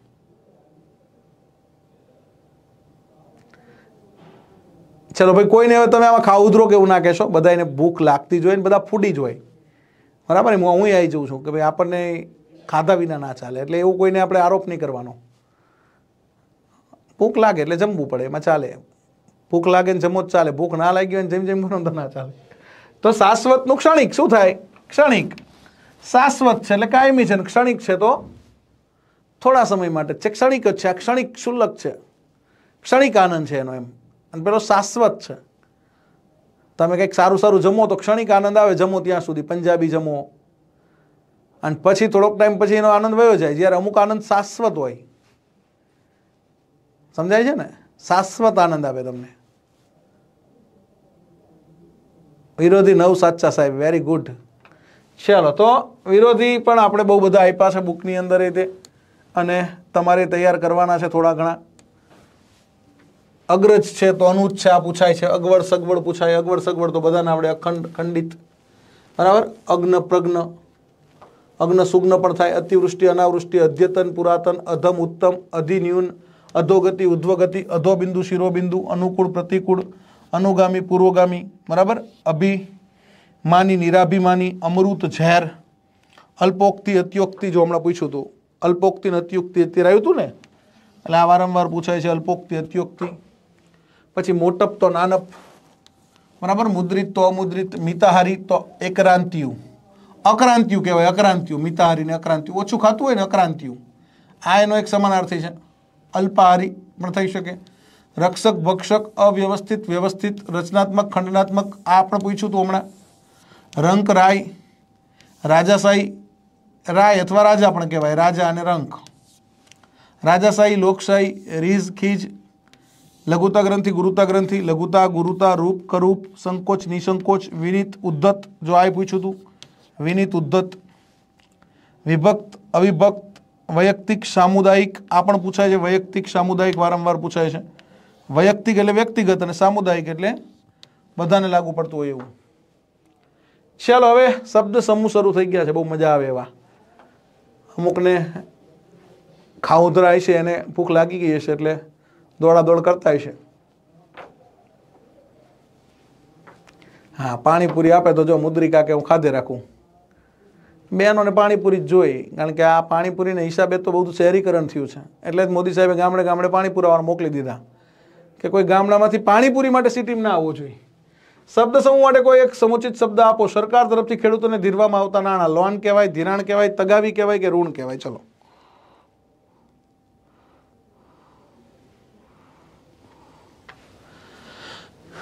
લોન છે એ તો પાછી ભરવાની હોય. ધિરાણ છે એ પણ સરકાર કરતી હોય છે. પણ તગાવી શબ્દ અહીંયા બહુ યોગ્ય લાગે છે મને. કયો શબ્દ યોગ્ય લાગે છે? એકદમ તગાવી. તગાવી શબ્દ સ્પેશિયલ ખેડૂતો માટે જ વપરાય છે. ખેડૂતોને ધીરવામાં આવતા નાણાંને તગાવી કહેવાય. ગમે વેપારીને ધીણે તો લોન તો કહેવાય છે વેપારીને ધીરે તો ધિરાણ તો કહેવાય છે બરાબર? પણ તગાવી શબ્દ ખેડૂતો માટે બહુ જ પ્રોપર છે. એટલે તગાવી. શું કહેશું? તગાવી. વેરી ગુડ સી ફાઇનલ કરી દીધો છે. સંકેત પ્રમાણે પ્રેમીને મળવા જતી સ્ત્રી આ બહુ વારંવાર પૂછાય છે. હા, આનું એક આખું મેગેઝિન આવે છે. સંકેત પ્રમાણે પ્રેમીને મળવા જતી સ્ત્રીને શું કહેવાય? સંકેત આપે છે પ્રેમી. અને પછી ને મળવા જાય છે અભિસારિકા. હા? તો ગણિકા કહેવાય? ગણિકા તો પ્રોસ્ટિટ્યુટ પ્રિયતમા માય ડિયર જાનું, અભિસારિકા. શું કહેવાય? અભિસારિકા. એટલે કે અભિસારિકા એટલે તો કે ભાઈ સંકેત પ્રેમીનો મળે અને તરત જ છૂટે કે ભાઈ ચલો લવ ઇઝ લાઈફ लव के लिए साला कुछ भी करेगा અભિસારિકા ચલો ત્યાર પછી છે મધુકરી શબ્દ માટે કયા શબ્દ સમૂહ માટે વપરાય છે મધુકરી માધુકરી કયા શબ્દ માટે શબ્દ સમૂહ માધુકરી વપરાશે ચલો હવે શબ્દ ગોતવાનો છે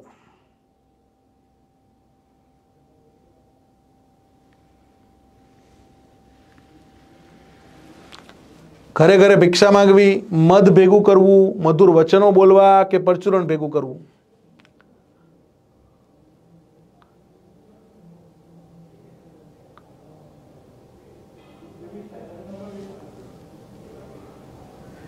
તો કહેવાય એને ઘરે ઘરે ભિક્ષા માંગવી. ભવતી ભિક્ષાન દેહી મૈયા. માધુકરી. હા, ભવતી ભિક્ષાન દેહી. ઘરે ઘરે ભિક્ષા માગવી.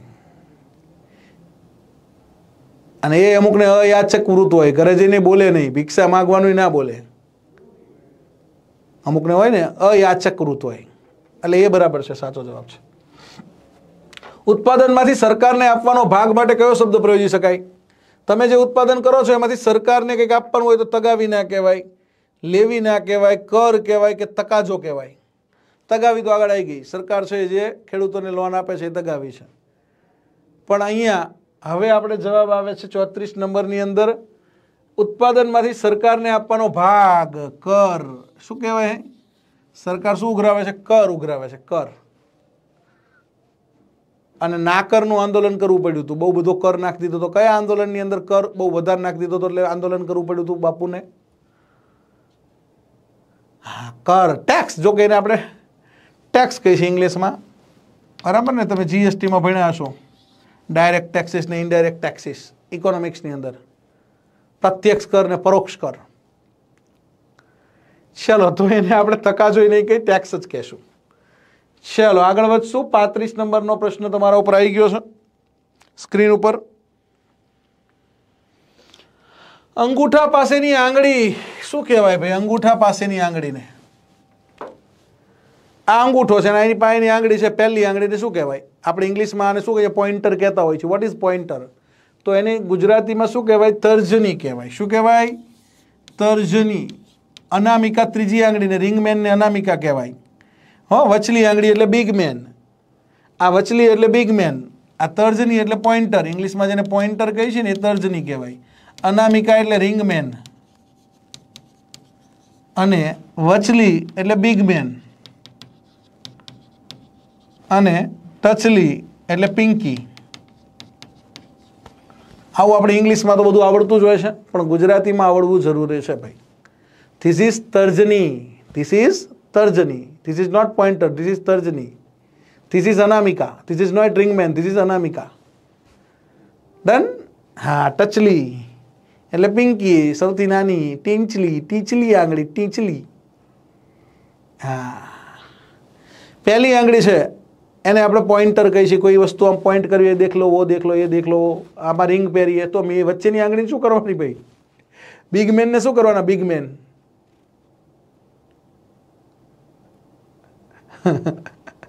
ચાલો તો યાદ રાખવાની છે આંગળીઓ. નીચે આપેલા સાચા શબ્દ સમૂહ માટે એક શબ્દ શોધીને લખો, કામ કરીને ખૂબ થાકી ગયેલી.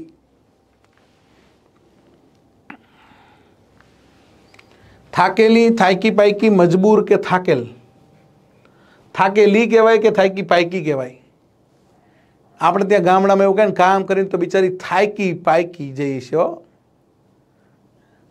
કામ કરીને બિચારી થાકી પાયકી. થાકી પાકીને ઘરે આવ્યા હોય. થાકી ગયા હોય ને પાકી ગયા હોય. અમુક અમુકને સાંભળી સાંભળીને.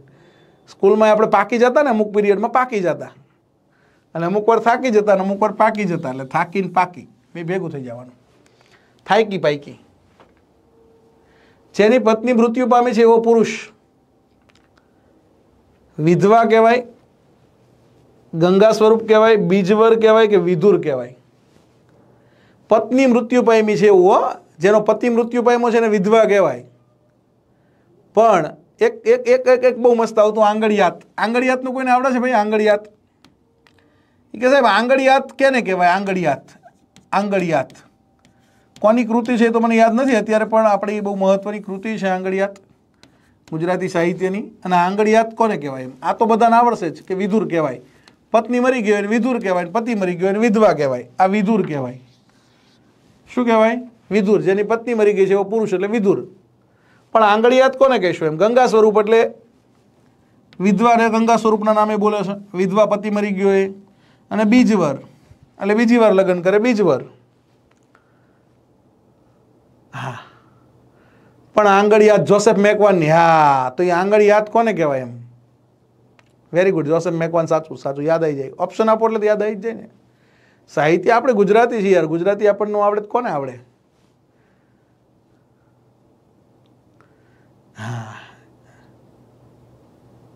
આંગળિયાત એટલે કોણ ખબર કે તારા બાપા મરી જાય, તારી માં રાંડે, મારું ઘર માંડે ને તને આંગળીએ લઈને આવે ને તો આંગળિયાત કહેવાય. હવે આવું કોકને કહે તો કેવું થાય? કે તારા બાપા મરી જાય, તારી માં રાંડે, મારું ઘર માંડે ને તને આંગળીએ લઈને આવે તો તું આંગળિયાત કહેવાય. આવું કોકને કહે તો ઓલો સામે મારવા વેવે કે તારા બાપા મરી જાય, તારી માં રાંડે, મારું ઘર માંડે.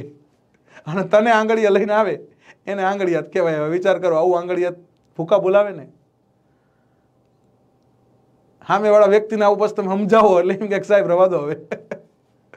પ્રતિષ્ઠા બેચમાં એડમિશન મળશે સાહેબ, પહેલાં મેં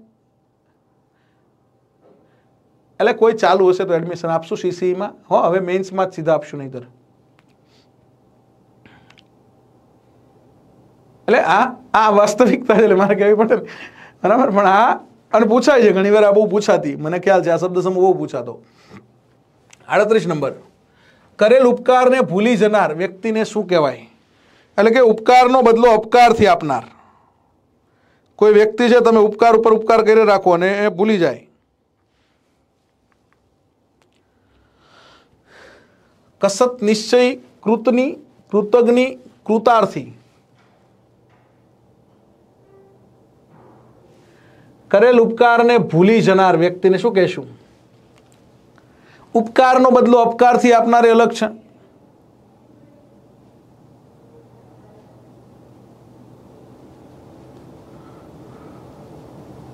એ કૃતજ્ઞ કહેવાય ઉપકારનો બદલો અપકારથી આપનાર.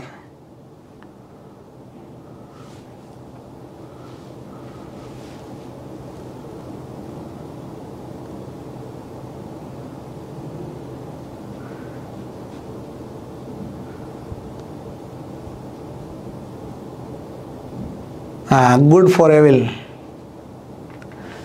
તો કૃતની કરેલા ઉપકારોને ભૂલી જનાર કૃતની કહેવાય, કૃતની. એ કૃતજ્ઞ અને કૃતજ્ઞ એ બે અલગ છે. ઉપકારનો બદલો અપકારથી આપનાર છે, એ કૃતજ્ઞ છે.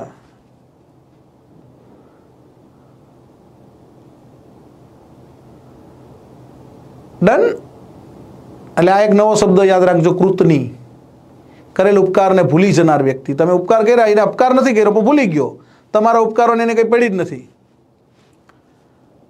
ઉપકારનો બદલો અપકારથી આપે ને કૃતજ્ઞ કહેવાય. તમે ઉપકાર કર્યા ને સામે એને તમારું ખરાબ કર્યું. તમે એનું સારું કર્યું, એને તમારું ખરાબ કર્યું ઈ કૃતજ્ઞ. હા, કરેલ ઉપકારને જાણનાર કૃતજ્ઞ કહેવાય. આ ઉપકાર તમારા કરેલ ઉપકારને જાણનાર. તમારા કરેલ ઉપકારને જાણનાર. ઉપકાર એટલે તમારા સારા કામ. આને કૃતજ્ઞ કહેવાય. પછી એક કૃતઘ્ની. કૃતઘ્ની આવે ને, એ ઉપકારનો બદલો અપકારથી આપનાર. ઉપકાર સામે અપકાર કરે. એ, અને આ કૃતની એટલે ઉપકારને ભૂલી જાય. કંઈ કરે જ નહીં. તમને સામે કોઈ જવાબ જ ના આપે, એ કૃતની. ઈચ્છા પ્રમાણે ફળ આપનારું વૃક્ષ. બોધિ વૃક્ષ અસ્વસ્થામાં તો અમર થઈ ગયા. કલ્પ વૃક્ષ કે પરમ વૃક્ષ ઈચ્છા પ્રમાણે ફળ કોણ આપે ભાઈ? તો ઈચ્છા પ્રમાણે ફળ આપે કલ્પ વૃક્ષ તમારી કલ્પનાઓ પ્રમાણે ફળ આપતું વૃક્ષ એટલે કયું વૃક્ષ? તો એ બધાને આવડે કલ્પ વૃક્ષ કારણ કે આપણે બધી મોટી મોટી આર્ટ ઓલી કથાઓમાં સાંભળ્યું હોય ને, નાના હોય ત્યારે, કે કલ્પ વૃક્ષ નામનું વૃક્ષ. ધન? એટલે કલ્પ વૃક્ષ એ બધાનો સાચો જવાબ છે કલ્પ વૃક્ષ દીકરાની પૌત્રી, શબ્દ સમૂહ માટે એક શબ્દ આપો. દીકરાની દીકરીને શું કહેવાય? દીકરાની પૌત્રી.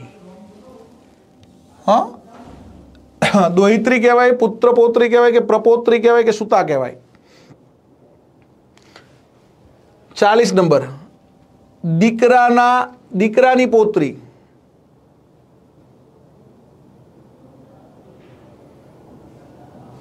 હા, તો પ્રપૌત્રી કહેવાય. શું કહેવાય? પ્રપૌત્રી, દીકરાની પૌત્રી. પ્રપૌત્રી, યાદ રાખજો. હા. તો આવા બહુ બધા આપણી પાસે શબ્દ સમૂહ છે. બરાબર, અમુક તમને ઇમ્પોર્ટન્ટ છે, એવા ફટાફટ કરાવી દઉં છું. પછી આપણે શબ્દ સમૂહને આગળ વધી અને રૂઢિપ્રયોગોને કહેવતમાં જવું છે ને ભાઈ? મજા આવતી હોય તો એકવાર વિડીયોને લાઇક કરી દો અને શેર કરી દો. તો યાદગીરી માટે પ્રતિકાત્મક બાંધકામ થાય અને સ્મારક કહેવાય. બરાબર? આપણે સ્મારક બંધાવીએ છીએ યાદગીરી માટે. બનાવટી દેખાતું જળ એટલે મૃગજળ, જે આપણને જનરલી રોડ ઉપર અને રણમાં દેખાતું હોય છે મૃગજળ. પવનો કે વનો સાથે પછડાતો વરસાદ એને ઝંઝા કહેવાય, ઝંઝા. બરાબર? આમ તો જો કે વરસાદ અલગ અલગ પ્રકારના આવે. બરાબર ને? હા. સતત અઠવાડિયું વરસાદ આવે ને શું કહેવાય? કહેજો મને. સતત અરસાદ અઠવાડિયું વરસાદ ચાલુ ને ચાલુ રહે. આ ઝરમર વરસાદ અમને નહીં ફાવે. અમે તો હેલીના માણસ છીએ, હેલીના. એટલે કે સતત અઠવાડિયું આવે ને હેલી કરી કહેવાય, હેલી. અને પછી હેલી કરીને પછી ખરાડ નીકળે. એને શું કહેવાય? સતત અઠવાડિયું વરસાદ આવે ને પછી ખરાડ નીકળે ખરાડ પછી ખરાડ નીકળે ને પછી ખેડૂતો વાવેતર કરવા માટે જાય. એને શું કહેવાય? હૃદયનો કોમળ ભાગ, મર્મસ્થળ. બાઘા બાઘા જેવો લોક છે જળ ભરત છે બાઘા જેવો છે. કેવો છે? તો કે ભાઈ જળ ભરત છે. લગભગ મરી ગયેલું મૃતપ્રાય અંદરો અંદરની લડાઈ અને કતલ યાદવા સ્થળી. બરાબર? યાદવો અંદરો અંદર લડી ભરી ગયા હતા. એટલે એની યાદવા સ્થળી નામે પ્રખ્યાત હેલી. હા. આ ઝરમર વરસાદ અમને નહીં ફાવે. અમે તો હેલીના માણસ. અને પછી વરાપ થાય એટલે ખેડૂતો વાવેતર કરવા જાય. વરાપ એટલે સુકાઈ જાય. વરસાદનું પાણી સુકાઈને વરાપ કહેવાય. ખરાડિયું થયું કહેવાય. ખરાડ. હા, વરાપનું બીજું નામ ખરાડિયું. વરાપ થઈ ગઈ હવે. અને વરાપ થાય પછી વાવેતર થાય. વાવેતર ક્યારે થાય? વરાપ થાય પછી અંદર હાથીડા કે પછી અંદર ટ્રેક્ટર જાય અને પછી અંદર વાવેતર થાય. એટલે વરાપ થવી જરૂરી છે. હા, પણ અઠવાડિયું વરસાદ આવ્યો, એને હેલી કહેવાય. પણ એક કલાકમાં પાંચ હાથી ઇંચ એને શું કહેવાય? એક કલાકની અંદર સાત આઠ ઇંચ વરસાદ થઈ જાય, એને શું કહેવાય? વરસાદની ભાષામાં કોલો. એક કલાકમાં સાત આઠ ઇંચ વરસાદ ઝીકો. સૂર્ય ચંદ્ર હોય ત્યાં સુધી તો યાવત ચંદ્ર દીવા કરો. આપણે શું કહીએ છીએ યાવત ચંદ્ર પહેલા આ શબ્દ લખાતો દસ્તાવેજમાં, યાવત ચંદ્ર દીવા કરો. સૂર્ય ચંદ્ર હોય ત્યાં સુધી તમારો હક રહેશે. સાઠ વર્ષ પૂરા થવા, ષષ્ઠી પૂર્તિ, સો વર્ષ પૂરા થવા, તો કે ભાઈ શતાબ્દી. બરાબર? મહાન વ્યક્તિઓની જન્મદિવસ તો જન્મ જયંતિ કહી છે. બરાબર? અને મૃત્યુને પુણ્યતિથિ કહી છે. વાર્ષિક મરણતિથિ, એને સંવત્સરી. બરાબર? સચોટ અને અસર ઉપજાવે તેવું. રામબાણ. આંખને છાવરી લેતું પડ. તો પડડ ચેતન અને જળ તો ચરાચર.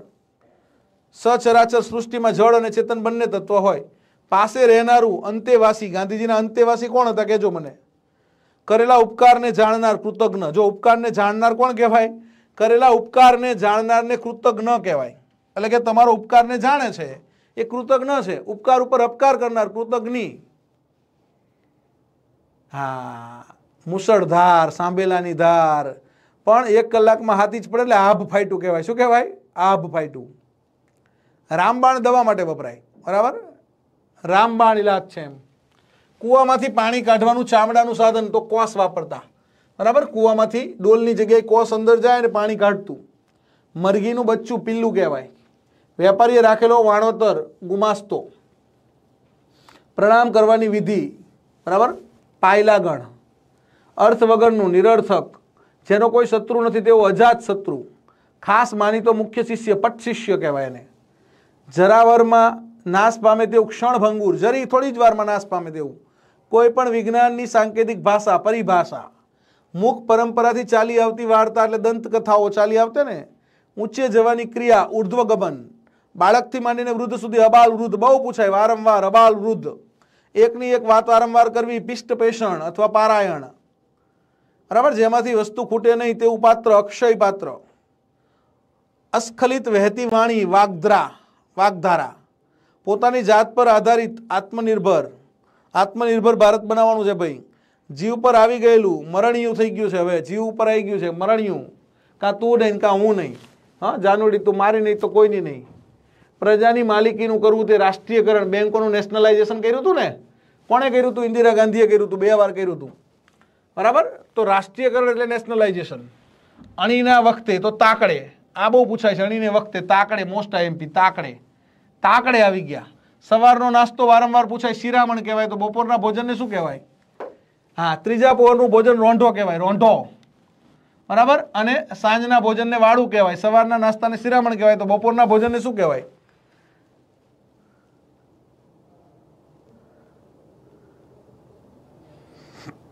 હા, કો કહેવાય અથવા કોસે કહેવાય. કો આપણે ત્યાં લોકલ ભાષામાં કો શબ્દ વપરાય. કો, ચામડાનો કો. અને કોથી પાણી કાઢવાનું હોય. છેડો, રોંઢો. આ વારંવાર પૂછાય છે, ભાઈ, રોંઢો કર્યો કે નહીં? ચાર વાગે રોંઢો કરવાનો હોય. અને સવારે શિરામણ કરવાનું હોય. શિરામણ કરીને જાય, પછી બપોરે સાંજે આવીને રોંઢો કરવાનો હોય. ચાર વાગે તો બપોરે શું જમવાનું?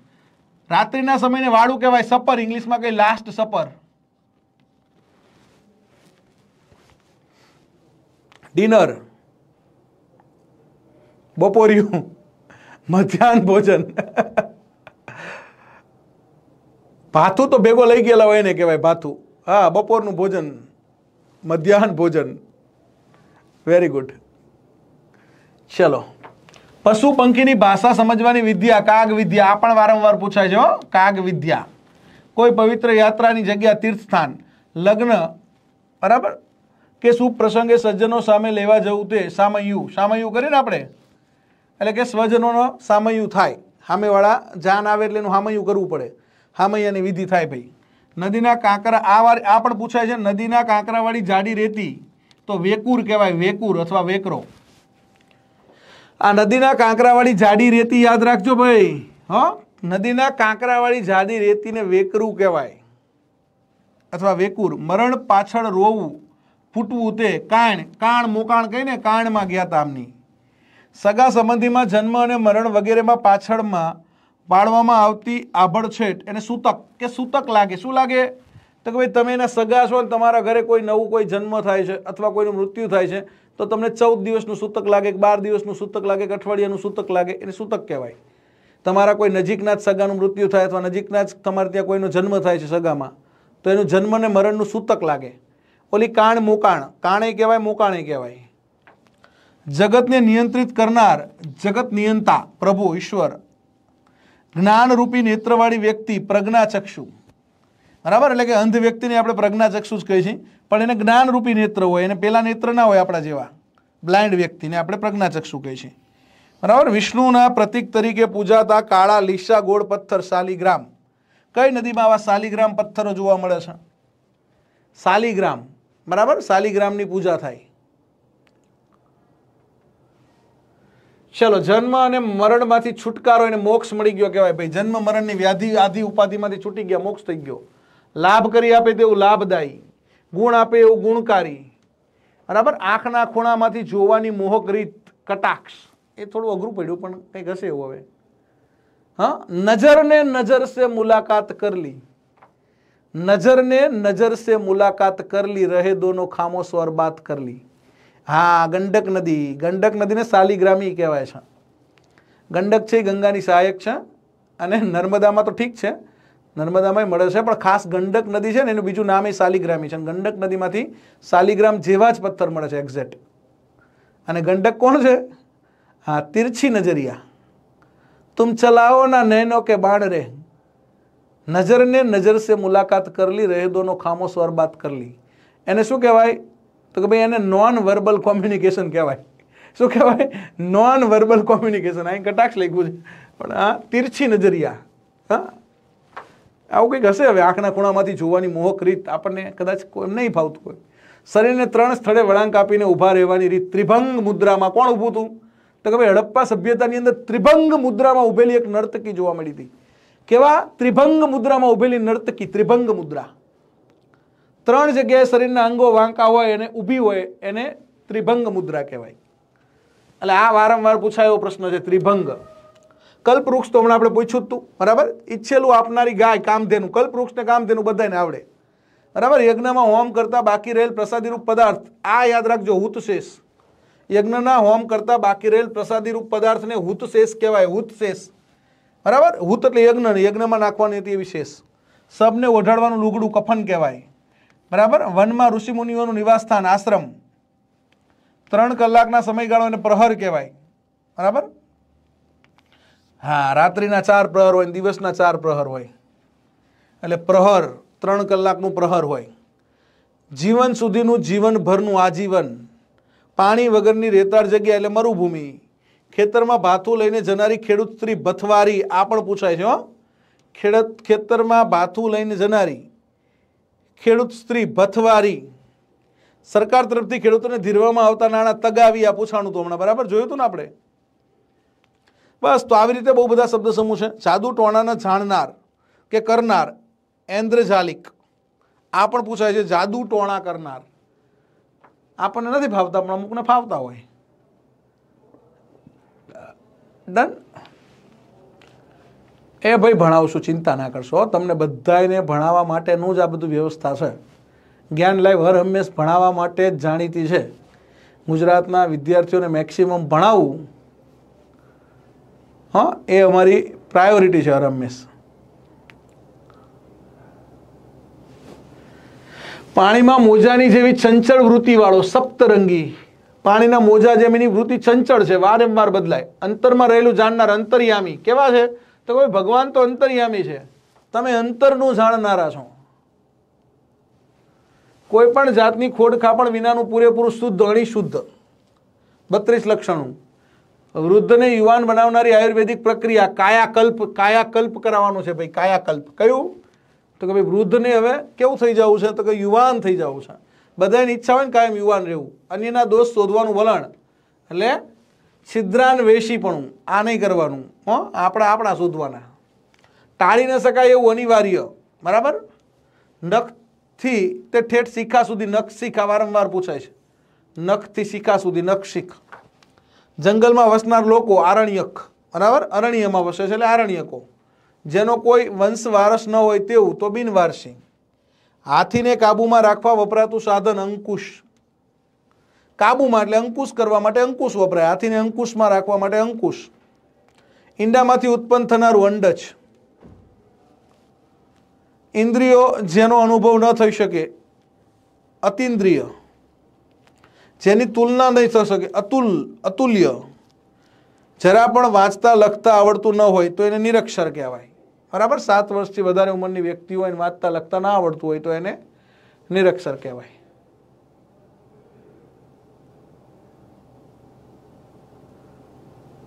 ડન ને? મજા આવે છે ને? ચલો આગળ વધવું છે. રૂઢિપ્રયોગો અને કહેવતોમાં જવું છે ને ભાઈ? કે સાહેબ, ના, મજા આવે છે. રૂઢિપ્રયોગો અને કહેવતોમાં જવું પડે કે ના, નહીં જવું પડે?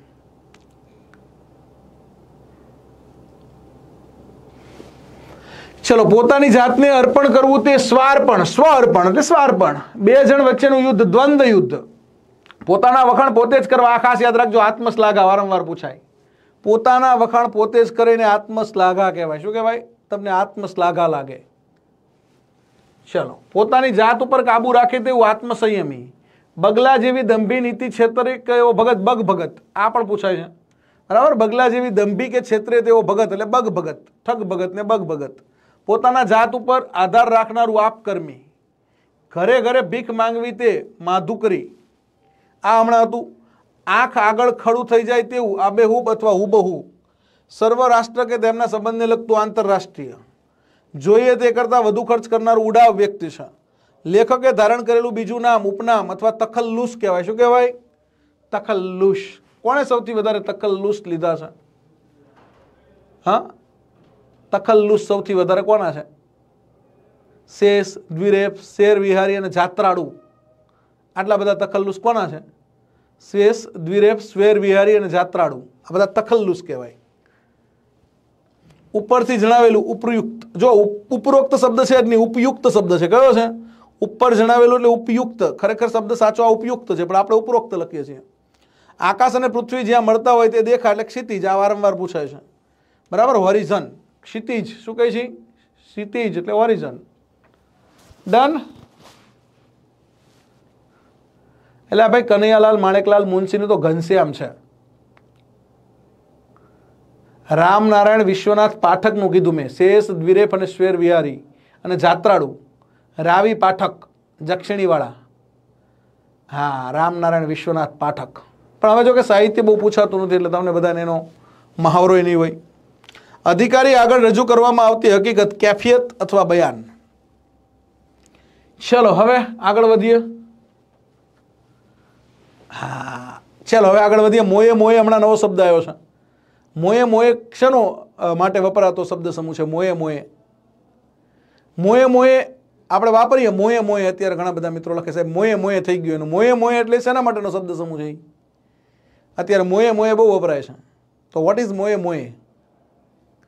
અવાજ આવે છે ને મારો? Am I audible properly call લેટરમાં photo I think નથી લગાવવાનો. હા? એટલે મોએ મોએ શું છે ભાઈ?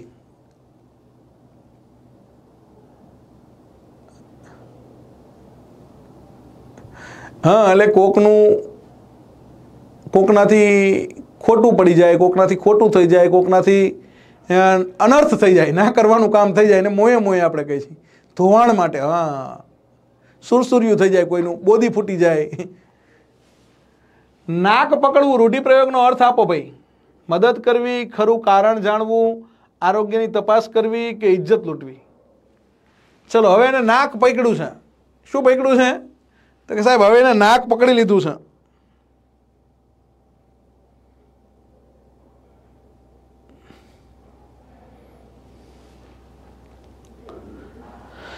હવે રૂઢિપ્રયોગો પછી કહેવતો, બધું વારાફરતી લેશું ને? હા, પોપટ થઈ જાય એટલે મોએ મોએ. એટલે પોપટ થઈ જવો એ પાછો એક એ એક કહેવત થઈ ગઈ, પોપટ થઈ જવો એ એક કહેવત થઈ ગઈ અથવા રૂઢિપ્રયોગ થઈ ગયો. એટલે આ બધા રૂઢિપ્રયોગો કહેવતો આ રીતે જ બન્યા હોય. મોએ મોએ હવે એક રૂઢિપ્રયોગ બની ગયો. નવો રૂઢિપ્રયોગ કે આજ સાહેબ શોધો ચેતન સર કે કયો સોયતો કે મોએ મોએ.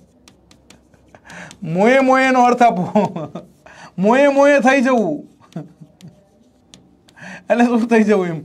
આ રૂઢિપ્રયોગ છે, એનો વાક્ય પ્રયોગ કરો. આ નવો રૂઢિપ્રયોગ લાયા કે સાહેબ, મોએ મોએ થઈ જવું કે. એમનું તો મોએ મોએ થઈ ગયું. લાયા ને નવો. બસ તો આ રીતે જ રૂઢિપ્રયોગો બન્યા હતા. સૂંઠને ગાંગડે ગાંધી થઈ જવું. સૂંઠને ગાંગડે ગાંધી થઈ જવું. તો અહીંયા ખરું કારણ જાણવું. નાક પકડવું એટલે કે, હા, ખરું કારણ જાણવું. હવે એને નાક પકડ્યું કે ના, બરાબર છે. ઇટ ઇઝ રાઈટ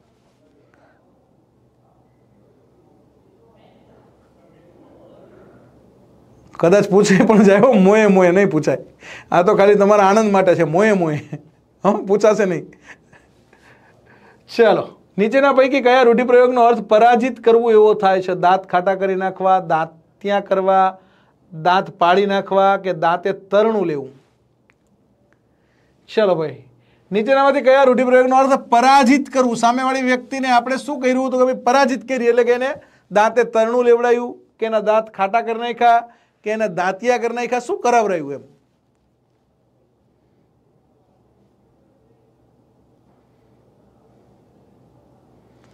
આપણે આનું એકાદું બીજું સેશન એ રાખશું. અત્યારે જેટલા થાય એટલે પચાસ એક પ્રશ્નો અત્યારે આપણે પૂરા કરીએ. બરાબર? નેક્સ્ટ સેશનમાં પછી આગળના કરાવીશ બહુ બધા શબ્દ સમૂહ કહેવતો મારે તમને કરાવી છે એટલે. હા, તો દાંત ખાટા કરી નાખવા. શું કરી નાખવું? તો કે ભાઈ એના મેં દાંત ખાટા કરી નાખ્યા. સામેવાળી વ્યક્તિના શું કરી નાખ્યું? તો કે ભાઈ મેં પોલીસ પરીક્ષાની અંદર પોલીસ પરીક્ષાના દાંત ખાટા કરી નાખ્યા. હા? એટલે કે મેં એ પરીક્ષાને પરાજિત કરી દીધી, મેં એમાં વિજય મેળવી લીધો. દાંત ખાટા કરી નાખ્યા સીસીઈના તો આ દાંત ખાટા કરી નાખ્યા. એટલે કે સીસીઈની પરીક્ષાને પરાજિત કરી દીધી છે. બરાબર? મોંમાં આંગળા નાખવા, રૂઢિપ્રયોગનો સાચો અર્થ. મોંમાં આંગળા નાખી જવા. તો શું થવું આશ્ચર્ય પામવું બરાબર ને? એ કે એ તો મોંમાં આંગળા નાખી ગયા. સાહેબ, પેપર જોયું ને તો મોઢામાં આંગળા નાખી ગયા. એ કે, ઓહો હો, પેપર આવ્યું કંઈ? હા, ચેતન સરે કરાયું હતું એ જ બધું આવ્યું હો. હા. મોંમાં આંગળા નાખી જવા. આશ્ચર્ય પામવું એટલે કે આશ્ચર્ય પામી ગયા છે. મોઢામાં આંગળા નાખી ગયા હા. સાલ હોય કે ભણાવ્યું હોય તો કંઈ આવ્યું જ નહીં તો શું એમ એવું થાય ને તોય આશ્ચર્ય પામે ભણાયેલું આવે તોય આશ્ચર્ય પામે ને ભણાયેલું ના આવે તોય આશ્ચર્ય પામે બે રીતે આશ્ચર્ય પામે अचरज पामे हाँ हे प्रभु हरे राम कृष्ण जगन्नाथ परमानंद ये क्या हुआ हे प्रभु हरे राम कृष्ण जगन्नाथम हे प्रभु हे મારા વાલા હે પ્રભુ હે હરેનાથ હરે રામ કૃષ્ણ દામોદર જગન્નાથમ. શું થયું આ બધું? વોટ ઇઝ ધીઝ ચલો, નીચેના પૈકી કયો રૂઢિપ્રયોગ ખૂબ ગુસ્સો આવવો એવો અર્થ નથી આપતો?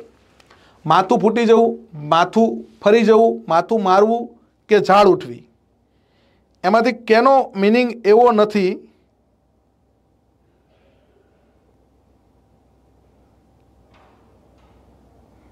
કે ખૂબ ગુસ્સો આવવો?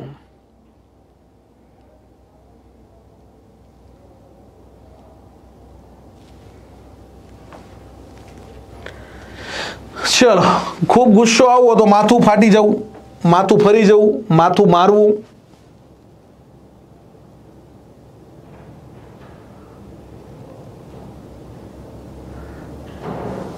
માથું મારવું, બસ મારે માથું મારવું પડશે હો આમાં.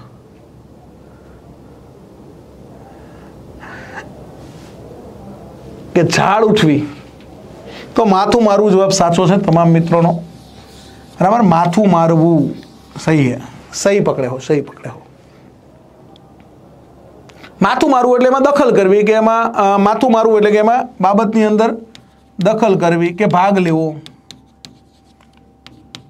ચર્ચામાં માથું માર્યું, આવું થાય. ઝાડ ઉઠવી એટલે ગરમ થવું એવું જ થાય. કે ગરમ થવું કે ગુસ્સે થવું કે એવું જ થાય. એટલે ઝાડ ઉઠવી નહીં આવે પણ માથું મારવું જ આવશે. બરાબર? અહીંયા ઝાડ ઉઠવી આપ્યું છે પણ માથું મારવું જ આવશે. દર્શાવેલ રૂઢિપ્રયોગનો અર્થ જણાવો, ઝાટકણી કાઢવી એની ઝાટકણી કાઢી નાખી આજ તો. હા, ગુસ્સે થવું, અનુચિત કાર્ય કરવું, આબરૂ જવી કે સખત શબ્દોમાં ઠપકો આપવો.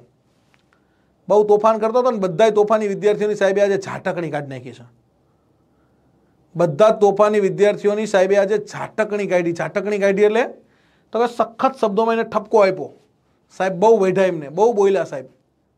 હા આજ તો એ બધાનું મોએ મોએ કરી નાખ્યું સાહેબે.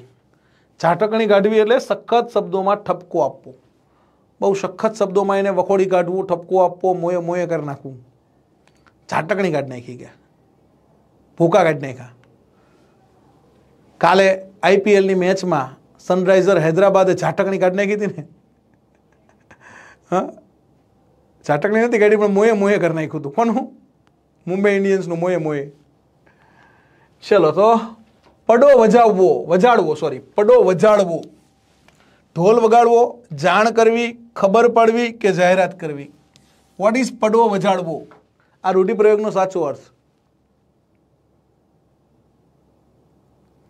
હા, આ શબ્દ એક નવો આવી ગયો છે મોએ મોયે એટલે આપણે એનું થોડુંક વિશ્લેષણ કરશું.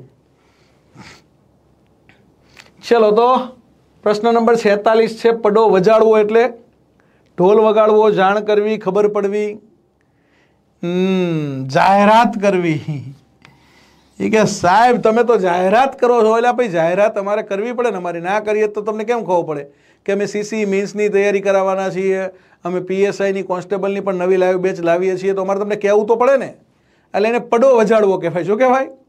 કે સાહેબ, તમે તો તમારો નકરો પડો જ વજાડ વજાડ કરો છો, પછી એના જેવું ના થઈ જાય. ઓલું કેવું? એકને એક વાત વારંવાર કહેવીને શું કહેવાય? પિષ્ટ પેષણ. સાહેબ, પિષ્ટ પેષણ ના થાય, એટલે આપણે પિષ્ટ પેષણ નથી કરતા. પડો વજાડવો એટલે જાહેરાત કરવી. શું કરવું? જાહેરાત કરવી. આપણે કહે ને ગુજરાતીમાં બોલે એના બોલ વેચાય. અને ના બોલ્યામાં નવું ગુણે હોય. ઉષ્મા ભર્યું સ્વાગત કરવું. ગુજરાતી ભાષામાં રૂઢિપ્રયોગની ભાષામાં ખાલી જગ્યા કહેવાય. કંઠે ભૂજાઓ રોકવી, આંખો ઠેરવી કે તલવાર તાણવી કે ગુડા ભાગી નાખવા. ચલો, ઉષ્મા ભર્યું સ્વાગત થયું એમનું. તો શું કર્યું આપણે?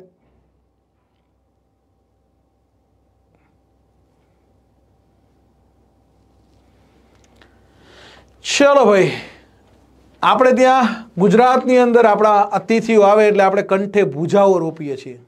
શું કરીએ છીએ? કંઠે ભૂજાઓ રોપવી એટલે કે આપણે એનું ઉષ્માભર્યું સ્વાગત કરવી, કંઠે ભૂજાઓ રોપવી. એ કંઠે ભૂજાઓ રોપવી એટલે ઉષ્માભર્યા સ્વાગત કરવા માટે આપણે આ શબ્દ વાપરીએ છીએ. ઉષ્માભર્યું સ્વાગત કરવું તો કંઠે ભૂજાઓ રોપવી. આંખો ઠરવી એટલે રાહત થવી થવાય, ગુડા ભાગી નાખવા એટલે માર મારવો થવાય અને તલવાર તાણવી એટલે યુદ્ધને છંછેડવું થાય. એટલે અહીંયા કંઠે ભૂજાઓ રોપવી એટલે ઉષ્માભર્યું સ્વાગત કરવું એવું થશે. ડન મતી મારી જવી, રૂઢિપ્રયોગનો શું અર્થ થાય? મતી મારી જવી એટલે એની બુદ્ધિ મરી જવી. મન મરી જવું, બડાગાંઠ પડવી, બુદ્ધિ ભ્રષ્ટ થઈ જવી કે બેધ્યાનપણામાં સ્વસ્થ થવું? એ કે તારી મતી મરી ગઈ છે તો તું એવું સમજેશ કે ભાઈ ના પરીક્ષા તો સાહેબ આપણે પાસ જ છીએ. હા, તો એ વાતમાં બહુ માલ નથી.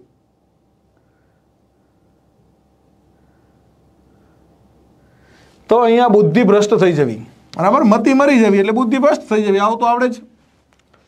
તારી મતી મરી ગઈ છે કે? તે તું વળી હા? હાર્દિક પંડ્યાની મતી મરી ગઈ તેને રોહિત શર્માને બાઉન્ડ્રી ઉપર મોકલ્યો. એમ મતી મરી જવી. બુદ્ધિ ભ્રષ્ટ થઈ જવી.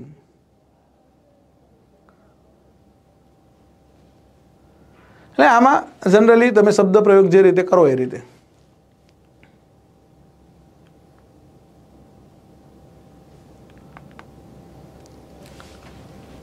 કપાળે પરસેવો વળવો.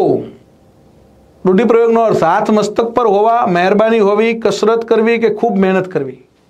એ કે હવે તો કપાળે પરસેવો વળી ગયો છે, એટલું કામ કર્યું છે. બહુ ઇઝી છે બધાને આવડવો જોઈએ. કપાળે પરસેવો વળવો ફોર્ટી નાઇન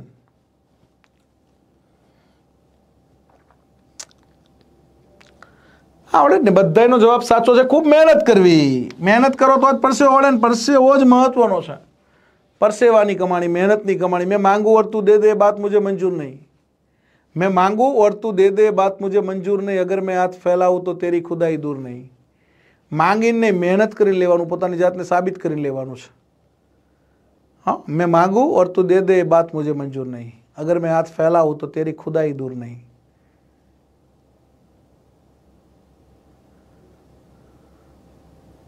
સખત મહેનત કરવાની, પરસેવો પાડવાનો, મહેનત કરવાની છે.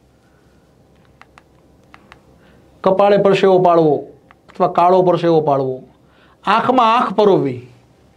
આંખમાં આંખ પરોવી એટલે શું એમ? નજરને નજર સે મુલાકાત કરલી. અખિયા મિલાઈ વચ્ચે આવ્યું હતું ને, અખિયા મિલાઈ થઈ જાય. આ ઋતુ હવે એવી આવશે. આ માર્ચ મહિનોનીમાં અખિયા મિલાઈનો રોગ બહુ થાય. આંખો આવવાનો, અખિયા મિલાઈ. હા એટલે હવે નેક્સ્ટ સેશનમાં આપણે નીચેની પટ્ટીમાં તમને ઓપ્શન દેખાય કંઈક કરશું. હું, આજ આપણાથી હવે જે કંઈ પીપીટી હતી એ પ્રમાણે આપણે આગળ આવી ગયું. આંખ આવવી કહેવાય? આંખમાં આંખ પરોવી એટલે આંખ આવી ગઈ? ના ના, સાહેબ. આંખમાં કચરો પડવો, દયા અનુભવી કે એકબીજા સામે એક કીટ હશે જોવું. આંખમાં આંખ પરોવી એટલે એકબીજા સામે એકીટસે જોવું. આને કહેવાય કેવું? કોમ્યુનિકેશન નોન વર્બલ કોમ્યુનિકેશન કહેવાય. અશાબ્દિક પ્રત્યાયન નજર ને નજર સે મુલાકાત કરલી ઓર રહે દોનો ખામોશ ઓર બાત કરલી. શું કહેવાય ને અશાબ્દિક પ્રત્યાયન કહેવાય. નજર ને નજર સે મુલાકાત કરલી. રહે દોનો ખામોશ ઓર બાત કરલી. એ કે વાહ સાહેબ, વાહ, મજા આવી ગઈ, મજા આવી ને?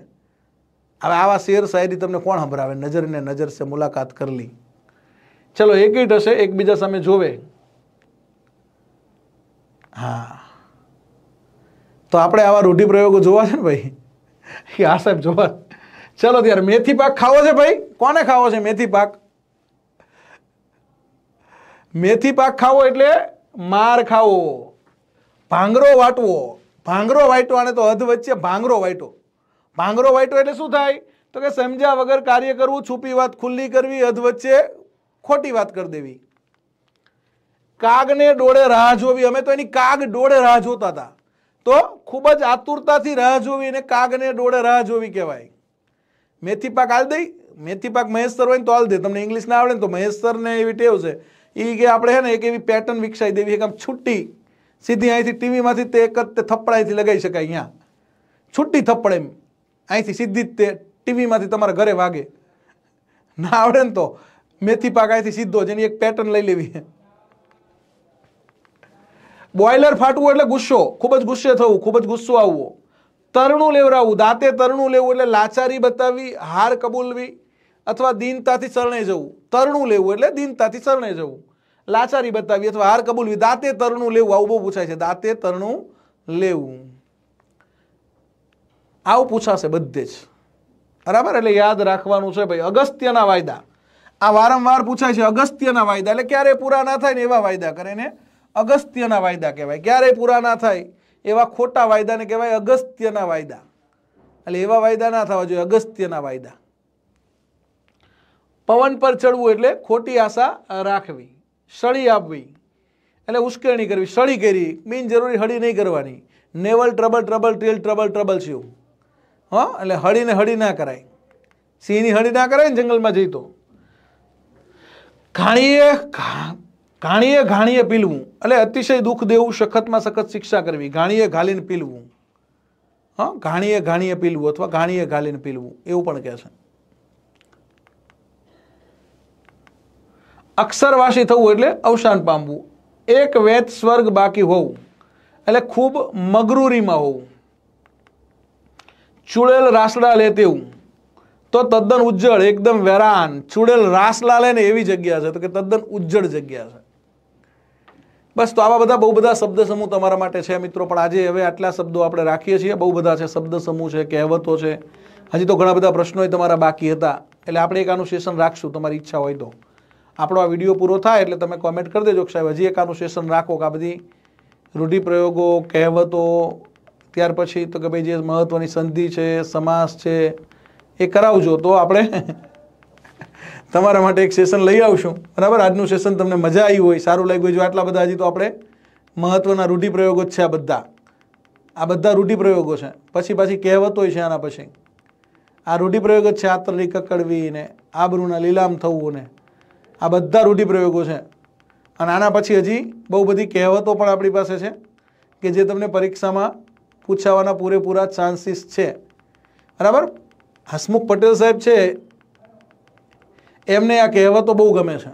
તમે જોજો, એમની કહેવતોનું અને રૂઢિપ્રયોગોનું નોલેજ સારું છે. એટલે કે રૂઢિપ્રયોગો અને કહેવતોની અંદર એમની ફાવટ છે.